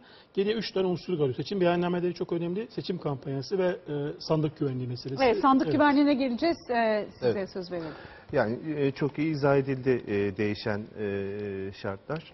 E, Evet, e, bizim e, yaptığımız kongre gerçekten güçlü bir kongreydi. E, Aday profilleri de oldukça e, iyi. E, Bu e, aslında e, yani hem tecrübenin aynı zamanda değişimle mezcedildiği bir e, liste ama bu liste aynı zamanda e, aşağıdan yukarıya doğru gelen ki AK Parti'nin en önemli e, dinamosu ve en önemli sigortasıdır. Halkla olan, tabanla, teşkilatla olan e, şeyi, ilişkisi. E, oradan gelen e, dataların işlenmesiyle e, yapıldığı e, bu şeyler, listeler. E, yani ben oldukça olumlu e, olduğunu e, düşünüyorum ama e, bunun da dışında 7 Haziran öncesinde e, pek olmayan, onun da tabii nedenleri var. E, bir hava oluştu yani AK Parti Evet. içerisinde. Ne ne gibi? Yani bu çok e, olumlu bir e, enerji, bir sinerji söz konusu. Yani kongrede de bunu e, e, biz gözlemledik. Bugün de e, yine e, arenada e, adaylarımızın tanıtıldığı toplantıda e, gerçekten hani onu suni bir şekilde yaratamıyorsunuz. Yani hani bazı şeyler vardır hissedersiniz. E, e, ve e, o e, his yani AK Parti'nin 2002'de e, ve daha sonrasında 2007'de 2011'de o işte arzulu, istekli, kararlı e, işte şeyi e, e, ruhu tekrar e, e, biraz e, hafif geri çekilmişti 7 Haziran'dan önce. Şimdi tekrar o ruhu görüyorsunuz. Yani salon inliyordu gerçekten. insanları Sayın Başbakan e, susturamıyordu konuşabilmek için. Şimdi e, bu e, arzu e, şuradan e, kaynaklanıyor. Evet gerçekten 7 Haziran'dan sonra bir tecrübe yaşadık. Yaşanmış olan şey yaşanmamış sayılamaz. E, biz 7 Haziran aslında çok önemli bir e, şey, tecrübe bizim için önemli bir veri kaynağı 7 Haziran sonuçları. Tüm şartlarıyla birlikte, muhalefetin tavrıyla birlikte, medyanın tavrıyla birlikte ve biz 1 Kasım'da tekrar bir seçim şansına kavuştuk. Ve bu arada e, şunu da gördük.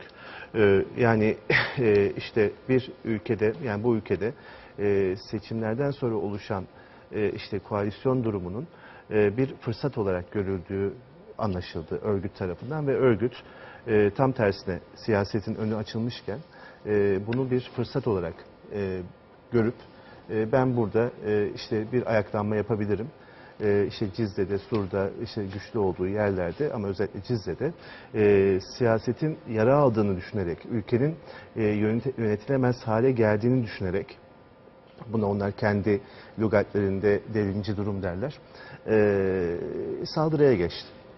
Ee, şimdi e, bakın e, Cizre'de olan şey yine Kürt vatandaşları da kapsayarak burada konuşalım. e, çok önemli bir mesele. Yani Cizre'de ve diğer e, bölgelerde PKK'nın 6-7-8 Ekim'de yaptığı ve yapamadığı gibi e, Kürt vatandaşlarımız örgüte asla yüz vermediler. E, hatta ve hatta artık hani insanları teker teker evlerine gidip sokağa çağırıyorlardı. hani gelmiyorsanız bari tencere tava çalın. Bunu bile yapmadı e, vatandaşlarımız. Evet. Şimdi bu bu ülkenin bin yıllık bir arada yaşama kültürünün Kürtler, Türkler ve hepimiz arasında ne kadar güçlü olduğunu gösteriyor. Bu bence en önemli şey. Ben seçimlerden daha fazlasını düşünüyorum. Yani hepimiz öyle düşünüyoruz tabii. Şimdi teknik konuyu konuştuğumuz için seçimleri konuşuyoruz ama bu seçimler seçimlerden öte bir anlama sahip. Yani bizler e, bu ülkede e, Türk'ü, Kürd'ü ve herkesiyle e, bu ülkede hep birlikte yaşayabilecek miyiz, yaşamaya devam edecek miyiz? Aslında bu biz- bizim için önemli. Bu anlamda e, HDP'ye giden oylar geri dönmeyebilir, döner. Bu ayrı bir şey. Bu, bunun ötesinde e, gerçekten e, Kürt e, vatandaşların bu ülkeye kendilerini ait hissetmesi, onore olduklarını hissetmesi e, veyahut da belli bir e, hiyerarşi içerisinde başka vatandaşlardan daha aşağıda olmadıklarını hissedilmesi ve onlara e, karşı, e, Kürt vatandaşlara karşı e, hükümetimizin ve diğer partilerin de o çok önemli bir şey CHP ve MHP'nin e, gerçekten o eski, e, eski e, dile- dilden uzak, e, arogan olmayan, üstenci olmayan, e, işte e, Kürt'ü tarif etmeyen, Kürtlerin sorunlarını tarif etmeyen ama Aslında CHP için iyi de bir zemin var biliyor musunuz Var, evet. bölgede? Bir yakınlık olduğu için Olması ortaklıktan gerekir. dolayı Evet. dengeyi, de- açılabilir. dengeyi kuramıyor ama yani hani Evet. bir demokratikleşmeden ziyade PKK destek işte o da ara- kârdır en azından 3-5 puan araçsallaştırıyorlar meseleyi. O yüzden o e, asıl e, dert o olmuyor. Yani halka ulaşmak, Kürtlere ulaşmak olmuyor. Dolayısıyla e, Kürt vatandaşların bu ülkede e, geçmişte yaşadığı çok e, acılı bir tarih var. Ve devlet, devlete güvenmeleri o kadar kolay değil. E, yani bunu da anlamak e, gerekiyor. Evet. Tamam dezenformasyonlar çok yüklü vesaire ama insanlar da aptal değiller. E, haliyle tabii e, onların da etkisi var. Ama e, gerçekten Kürt vatandaşların e, Örgüt de bunu kullanıyor zaten. örgüt de bunu Yol kullanıyor. meselesi Tabii. Dersim yoluyla mesela özdeşleştirerek anlatıyor. Doğru. Aynı o şekilde anlatıyor.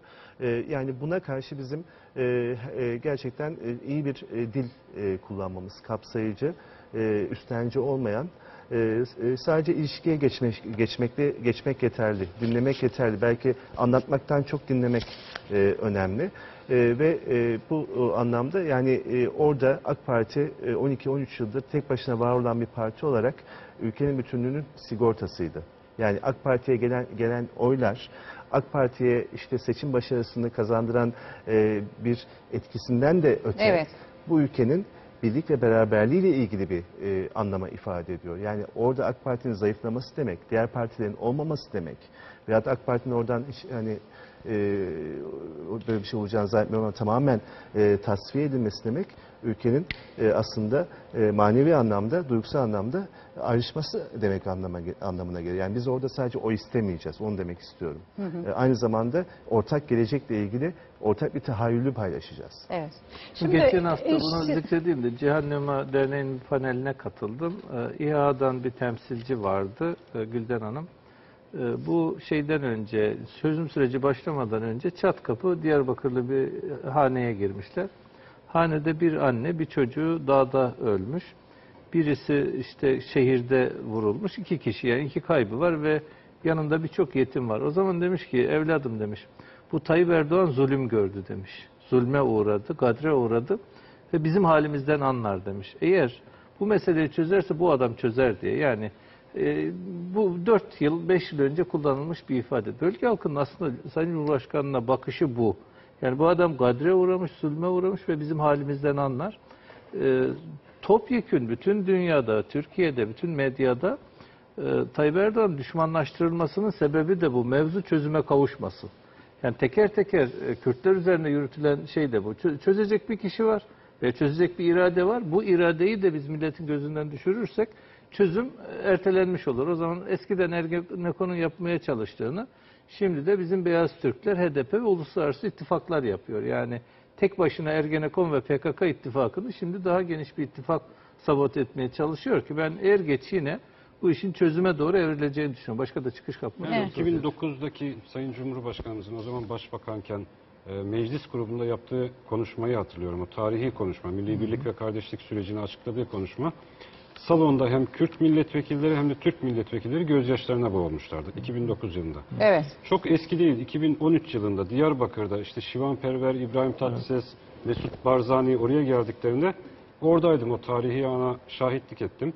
Ee, yani hem orada bulunanlar yani seyirci kısmında bulunan Diyarbakırlılar hem protokol sırasında oturanlar bizler ve sonradan bize anlatıldığına göre sadece Doğu Güneydoğu'da da değil Karadeniz'de Marmara'da birçok bölgede insanların da televizyon başında hüngür hüngür ağladıkları ifade edilmişti. Yani ben çok sayıda da mesaj aldığımı hatırlıyorum o zaman. Yani o manzara karşısında İbrahim Tatlıses'le Şivan Perver'in çıkıp o meşhur Megri ağlama şarkısını söylediklerinde herkes ağlamıştı ona. Bugün Ya halkın teröre destek herkes. vermemesi de o sebeplerden. Ha, nihayetinde Bence bu Leyla Zana'nın evet. meşhur sözünü burada e, hatırlamak gerekiyor. Bu sorunu ancak Tayyip Erdoğan çözer demişti. Öyleydi. Tayyip Erdoğan'la nasıl Evet. bir zor bir süreçte karşı karşıya, zor bir işte karşı karşıya olduğunu bildiği için işte bu çelikten bir irade gerektiriyor. Bunun bir bedeli var. Bu, bu bedeli O zaman. HDP'deki kendi arkadaşları da o sözü tepki göstermişti ama Leyla Zana o sözün arkasında hep Şöyle durdu. bir e, şanssızlık da var. E, yani bu aslında eşyanın tabiatıyla da ilgili bir şey.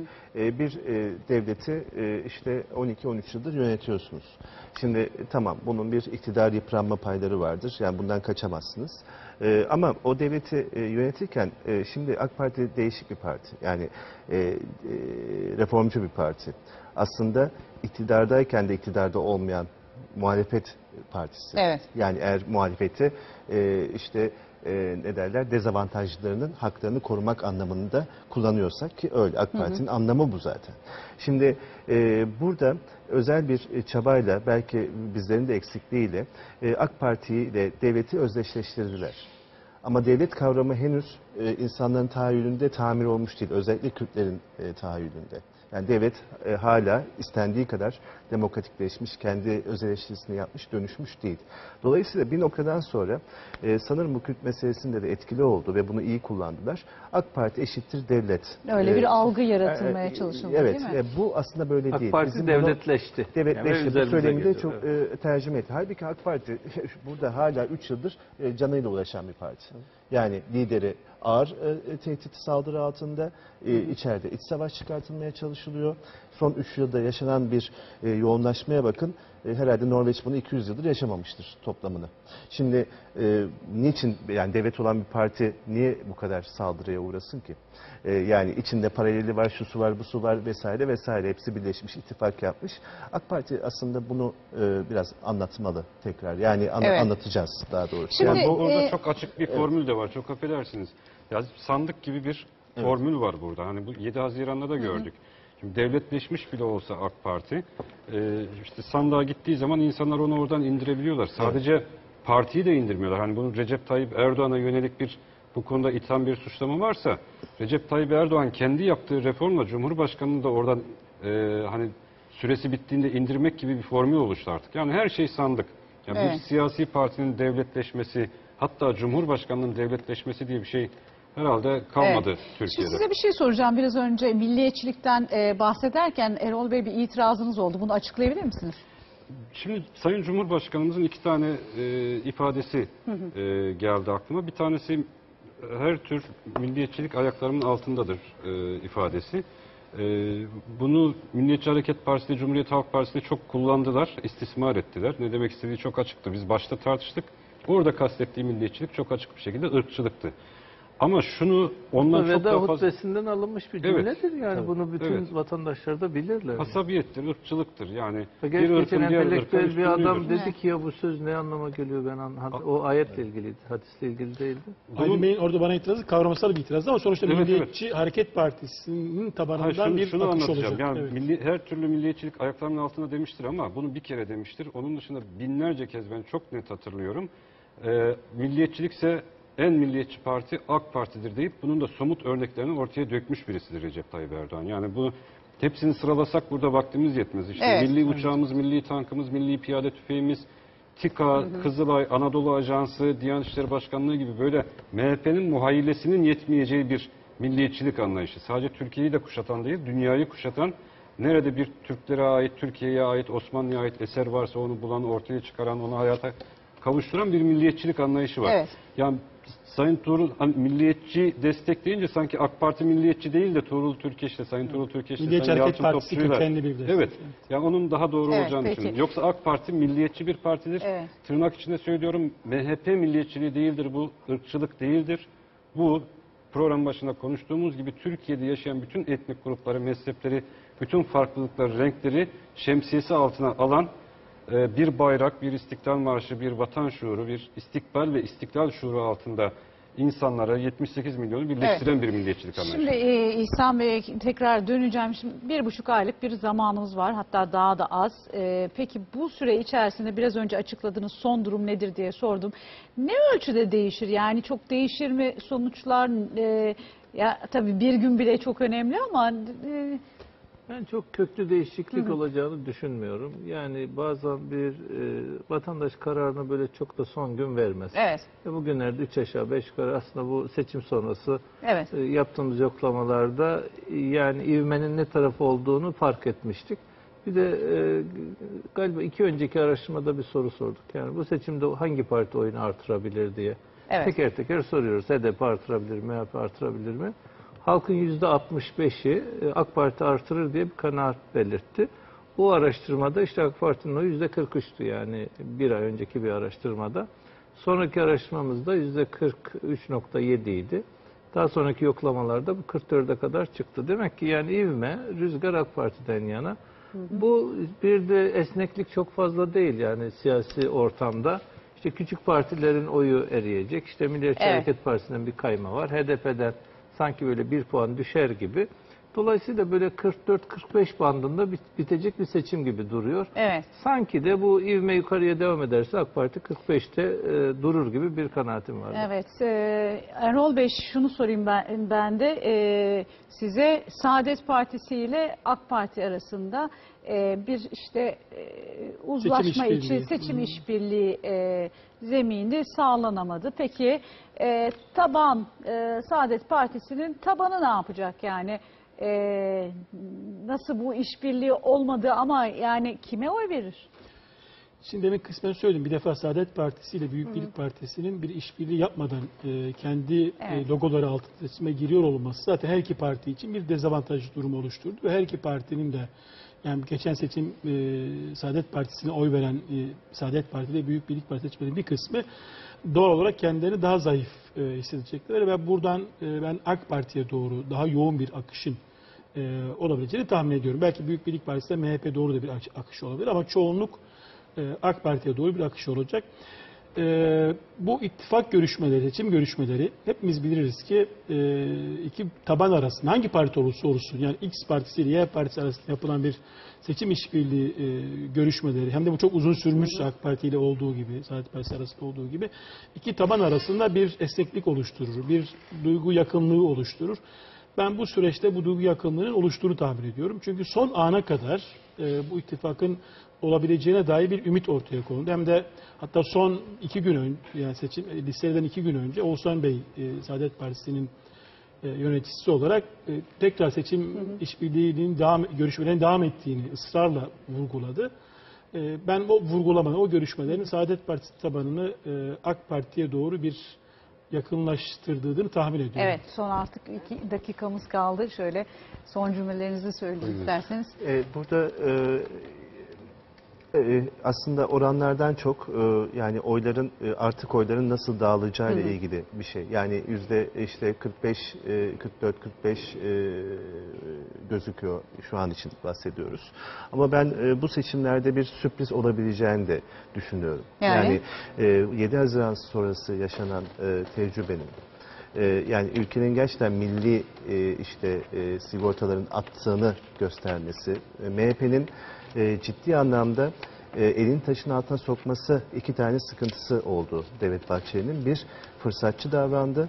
iki sorumsuz davrandı, korkak davrandı. E, fırsatçılığı yani ben işte e, zor bir durumda ülke ben kenarda durayım ve bütün bonusları hiçbir şey yapmadan bunu alışılmış bir şey MHP için e, toplayayım. Bu fırsatçılık. Bunu halk gördü. İkincisi ülke yine zor bir durumda. AK Parti ile hükümet yaparsak zor işlere girişeceğiz ve bundan çekindi.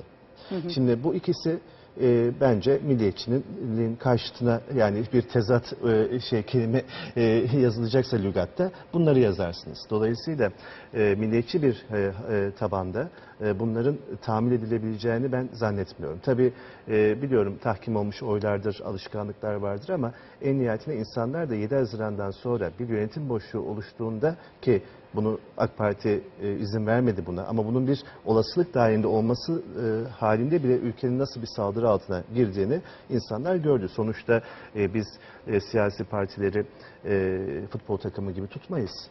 Yani futbol takımını tutmanın hani belli bir şeyi vardır, duygusal değil. Ne, nedir bizim şeyimiz? Yani zengin e, yaşamak, güvenli yaşamak, iyi yaşamak, taleplerimizin siyasi tarafından e, gerçekleştirilmesi.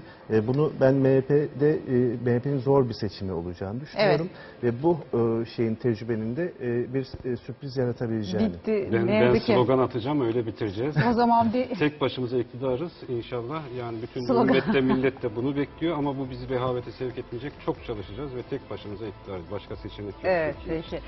Seçim güvenliğini konuşamadık. Kusura bakmayın zamanımız Başarılar doldu. dileriz sayın Evet. vekillerimize. Başarılar diliyoruz. Çok sağ olun. Çok teşekkürler geldiğiniz için. Ağzınıza sağlık ve söz teması burada sona eriyor. İyi geceler diliyoruz size.